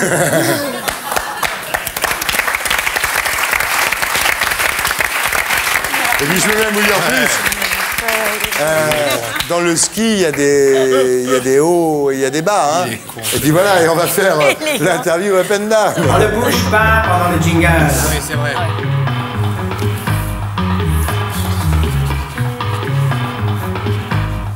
C'est quoi le jingle en fait? On, on voit quelque chose à à l'écran? On te voit toi qui bouge pas. Ah ouais. C'est l'humour euh, français. Oui. l'humour français. On n'est pas là pour se faire engueuler. Mais qu'est-ce que c'est Les Belges se révoltent? Bien, alors interview up and down. Euh, qu'est-ce que vous préférez dans le ski? La descente. Ouais. Ce que vous détestez dans le ski? Les gamelles. Et dans le rugby, ce que vous préférez? Euh, L'état d'esprit. Ouais. Ce que vous détestez dans le rugby? Les tricheurs. Ouais. C'est quoi un tricheur rugby? Bah, Aujourd'hui, euh, le tricheur, c'est celui qui, euh, qui tape sur le ballon quand il faut pas, qui se met à la faute volontairement et qui empêche euh, le jeu de, de se dérouler. Est-ce qu'il lance souvent des, des phrases, sais, euh, C'est-à-dire? Quand tu vois des films, euh, tu sais, hier j'ai j'ai niqué ta femme. Ah ouais, pour, dé- ah, pour déstabiliser l'autre Oui, non, non, mais moi, Ça j'ai- parle beaucoup. dans, dans les Ouais, films, ça on parle, voit pas, ça. ça parle pas mal, ouais. Ouais, c'est vrai. ouais. Ah ouais. Il y a des, il y a des mots. Le mec dit j'ai niqué ta femme pour lui casser le moral. Ça arrive, ça arrive, ça, ça arrive. ça arrive. Qu'est-ce que vous préférez en vous? L'abnégation? Ce que vous détestez en vous? Je suis impulsif quelquefois. Ah, bah, heureusement. Le plus grand moment de votre vie Bah, la demi-finale de, de Coupe du Monde. Ouais. Le pire moment Le pire moment, bah, ça a été euh, cet échec en ski que j'ai eu. Ouais. Ça vous a marqué, ouais. Votre plus belle histoire d'amour Mais Celle que je vis en ce moment. Avec Marion Ouais. Qu'est-ce que tu as, Claire Le Jules de Claire, c'est la semaine prochaine. Votre pire histoire d'amour Euh, bah, C'était il, y a- il y a deux ans. Ah ouais Avec la même personne, et puis bon, ça c'est. euh, Ça s'est arrangé avec Ah, Marion s'est- Ah D'accord. Ce qui est le plus sexy en vous Mon oreille gauche. Oui, c'est- Et de moins sexy L'oreille droite. Ce que vous préférez dans le sexe L'instant d'après Ouais Ouais. Est-ce que vous détestez dans le sexe La mêlée La mêlée. Plaquage. Alors qu'est-ce que vous aimez pas Sérieusement, qu'est-ce que vous aimez pas dans le sexe? Oh, je sais pas. Si c'est le sexe, c'est c'est plaisant, non? Il n'y a rien qui vous plaît pas? Oh, non. Tout vous plaît? Ouais. Avis aux amateurs.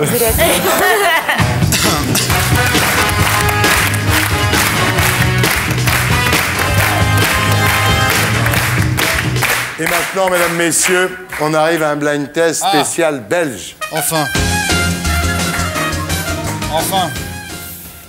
Voilà, en l'honneur d'Axel Red et de Philippe Guéluc, un blind test spécial belge. Vous connaissez le principe Euh, Vous devez me donner le nom de l'interprète. Ah oui, oui. Dès les premières notes Ce sont les artistes belges, donc. des artistes belges ou d'origine belge. Belge. On fait deux équipes. euh, Ah, on peut faire deux équipes, voilà, c'est rigolo. pas mal, ça. on fait deux Ouais. équipes. Pas mal, oui. hein. C'est toi le belge de l'équipe. Chacun, chaque équipe Voilà. a un capitaine belge. Ouais, ouais, ouais. Voilà. Ouais. Donc il y a l'équipe de Guéluc contre l'équipe de Fabienne. De... Je suis con, moi, mais je suis con. Bien. Attention, Didier. avec Jacques. C'est l'équipe c'est eux, c'est eux, c'est eux. C'est nous. Ah, Tranquille, tranquille, tranquille. On veut un petit replay, Serge, un petit replay. un ciel. Vous laissez le point. Attention, Tranquille, tranquille, tranquille. on veut un petit replay, Serge, un petit replay. Didier. Le son sur le plateau. Ouais, on voit bien.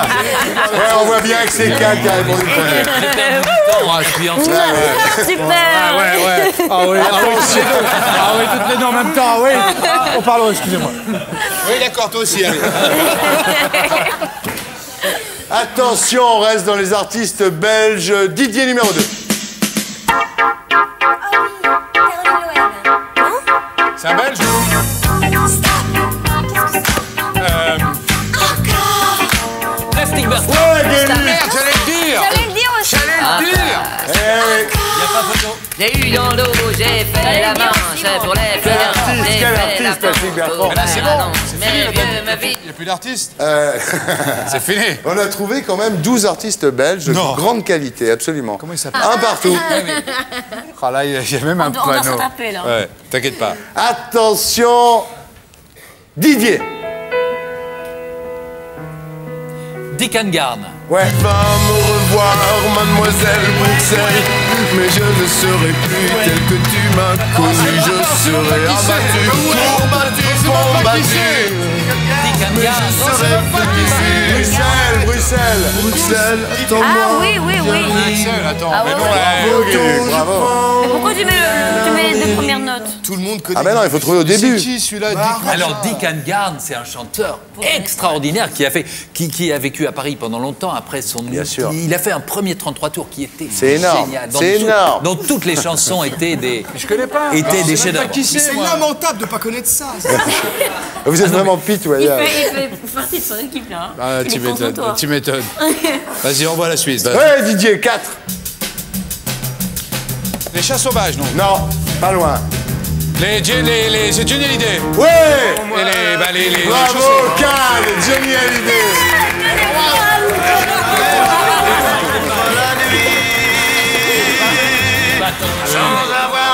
Je crois que c'est une chanson de Garbarens en plus, qui bossait avec Aznavour. Deux partout. Attention, Didier, chanson numéro 5, très très dur. Barbara. Tiamo, Tiamo, c'est Rosie Bart. Non. Par qui Par Annie Cordy. Annie Cordy. Par un Belge génial. Un belge génial. C'est un homme. Un homme.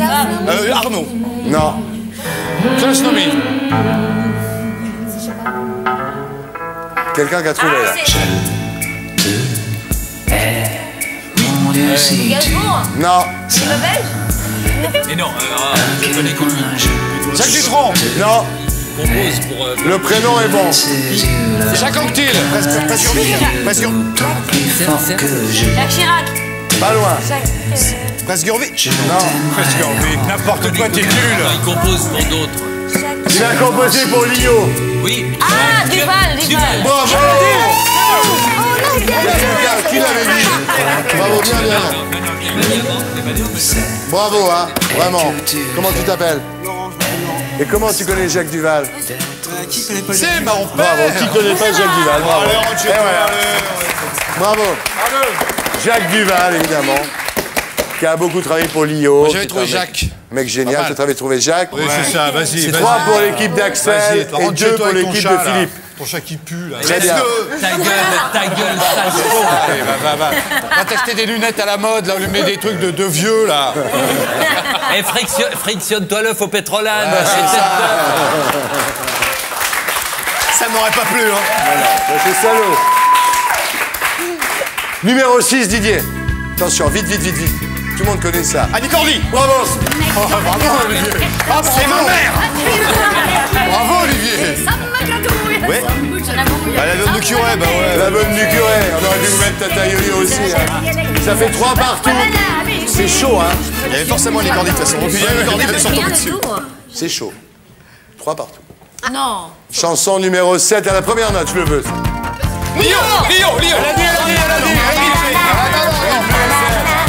Ah, Serge, est-ce qu'on peut avoir le replay Attention, replay, parce que là, C'est- C'est c'est Axel. Attends, attends, replay. Non chanson numéro 7 à la Attention. première note, je le veux. A dit, elle a dit. Ah ouais, Oh c'est. Olivier. T'es un scoop. 4 pour Gueluc et 3 pour Axel Et Red. c'est fini Voilà, c'est au pas du tout fini, hein. non. Maintenant, c'est encore plus dur. Chanson numéro 8. Bachot.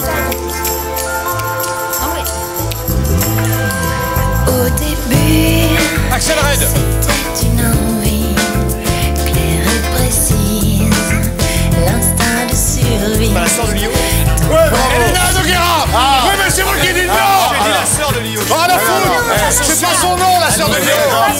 Son nom, c'est Elena Noguera Non, On annule le point. je décide. Oui, oui. Que cette fille est surtout connue sous le nom de la sœur de Lyon. C'est pas vrai, Ah, qui chantait son lui. nom. Ah non, parce que j'ai dit la sœur de Lio. son Et nom. toi, tu m'as entendu Bah ouais, dire mais la sœur de non. Et tu as profité de ça. Je vois pas que connaît la cette chanson. émission de télévision. Non, un scandale Non, je pense qu'il faut donner un point partout. Voilà, un point partout, Parce c'est parce qu'Olivier a dit Olivier a dit la sœur de Lio, oui, qui mais va se les nom. jambes, toi Et effectivement, Mais grandis, toi, un peu. C'est Salomon réincarné. ouais, je pense qu'il faut faire ça. Ah, là, c'est- c'est- Donc c'est grand. 5 pour Gueluc, 4 pour Axel. On continue, chanson numéro 9. Oui, cœur de. Ouais, bravo Gueluc, fais tour. Vous avez dit cœur de loup, j'ai dit. La la. Oui, mais il est- surtout connu Ah non, il faut pas dire cœur de loup, il Il faut est dire surtout connu Philippe Lafontaine. Relisez, loup. le règlement, relisez Ouais. le règlement. C'est le nom de Mais où, l'interprète. monsieur Où taisez-vous Elle est bien cette chanson. Mais non Ni de quitter la scène. Elle est bien. Fait l'aura bourdir de toute façon. Je n'ai qu'une seule envie. Ouais, c'est bon, c'est bon, ça va. La victime est C'est bon, ça va. ça Et- va. Attention maintenant. permettez- Vous me permettez de faire. Il est en train. euh, Philippe Allez, vient encore une blague à deux balles.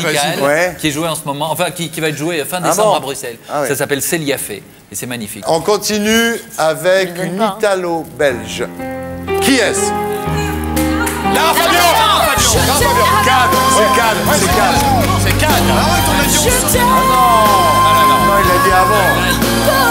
Tout ça parce qu'on a un poil Mais, plus, c'est pas. mais, mais l'erreur. Ah bah disons la Belgique. Mais, mais- Merci, heureusement qu'il y a Axel Red. 6 pour Gueluc, 5 pour Axel. Allez. Ah mes enfants, mais vous avez un On super banco euh, après, vous avez le super Il y banco a le super après. banco, on peut même faire Super qu'on banquet, tu peux tout perdre si tu gagnes le super banco. Voilà. Ah. Euh, chanson numéro 11. Les changements de Arnaud. Arnaud. Non, et, et puis avant c'était. euh. Je me souviens Non, du bord avant, de c'était mer l'autre, euh, Avec ses filles Adamo. ses Ouais. C'était chouette les filles des bords de mer C'est pas Arnaud, c'est Adamo. Vous étiez faites pour qui savait Mais c'est pas. 7 pour Gueluc 5 Et, et 5. et, et, et encore combien de chansons et 5 pour Axel. Et donc voilà maintenant le super banco Yes. qui peut tout, Ah. tout transformer. Pour le moment, c'est Gueluc qui gagne. C'est l'équipe Gueluc qui gagne. Avec Olivier Mann, j'ai l'habitude Ouais, de gagner. il a l'habitude de gagner, Olivier Mann. Sans Olivier, on était dans une merde, nous. Ouais. Et donc, euh, voici maintenant le super banco Didier. Bah bravo C'est Gueluc. Elle a dit, elle a dit, non, non, elle a elle a dit, elle a dit, non, elle a rien dit. Mais moi je l'ai dit la fois d'avant. Non, mais moi j'étais avant. J'ai dit avant. Didier, est-ce que Didier, Ah c'est est-ce qu'on peut entendre le début d'Adamo et le début d'Arnaud et ils vont comprendre C'est la même chose. C'est Adamo. Adamo. Ah, c'est une tonalité. Et voilà. Et voilà. Il y a une différence entre Arnaud Bon, et Adamo, c'est la même là, chanson. c'est bon, on va se coucher. Bon, c'est l'équipe Guéluc qui a gagné, bravo. Ça nous rappelle un peu. Eh, Ça nous rappelle un peu la victoire contre les All Blacks. Hein Ouais. Bien, mais merci d'avoir été avec nous. Euh, je rappelle euh, les promos. Cadet Olivier, la grosse émission sur Comédie et l'autoroute de la fortune sur Europe 2. Jeanne Moreau, un trait de l'esprit à Chaillot et en tournée en France à partir du mois de janvier. Plus un CD-ROM qui s'appelle Genesis. C'est une aventure historique avec la voix de Jeanne Moreau. Absolument. Philippe Guéluc, le chat est content. Il a raison d'être content. On peut le retrouver chez Michel Drucker et chez Laurent Ruquier. Kem, le roi danse de Gérard Corbiot, avec Boris Perral, Tchéky Cario et Benoît Magimel. Arnaud Montebourg, j'ai plus son bouquin, je l'ai jeté. Euh, ça s'appelle La machine à trahir, c'est chez De Noël. Naomi Campbell par Peter Lindbergh. Voilà. Axel Red, l'album live, son premier album live. Axel Red. Olivier Magne. Bah écoutez, on vous attend, on va continuer comme ça. Et je voudrais citer aussi notre ami Jean Le Garec, qui était otage à Jolo, c'est le journaliste de France 2 qui était otage à Jolo et qui a eu pour son livre Évasion chez XO le prix Vérité. Voilà, Jean Le Garec. Alors, rendez-vous dans 15 jours pour cause de Téléthon. Mais d'ici là, on se retrouve le 11 décembre à 20h50 pour un prime time qui s'appelle Ça s'en va et ça revient. Merci à tous.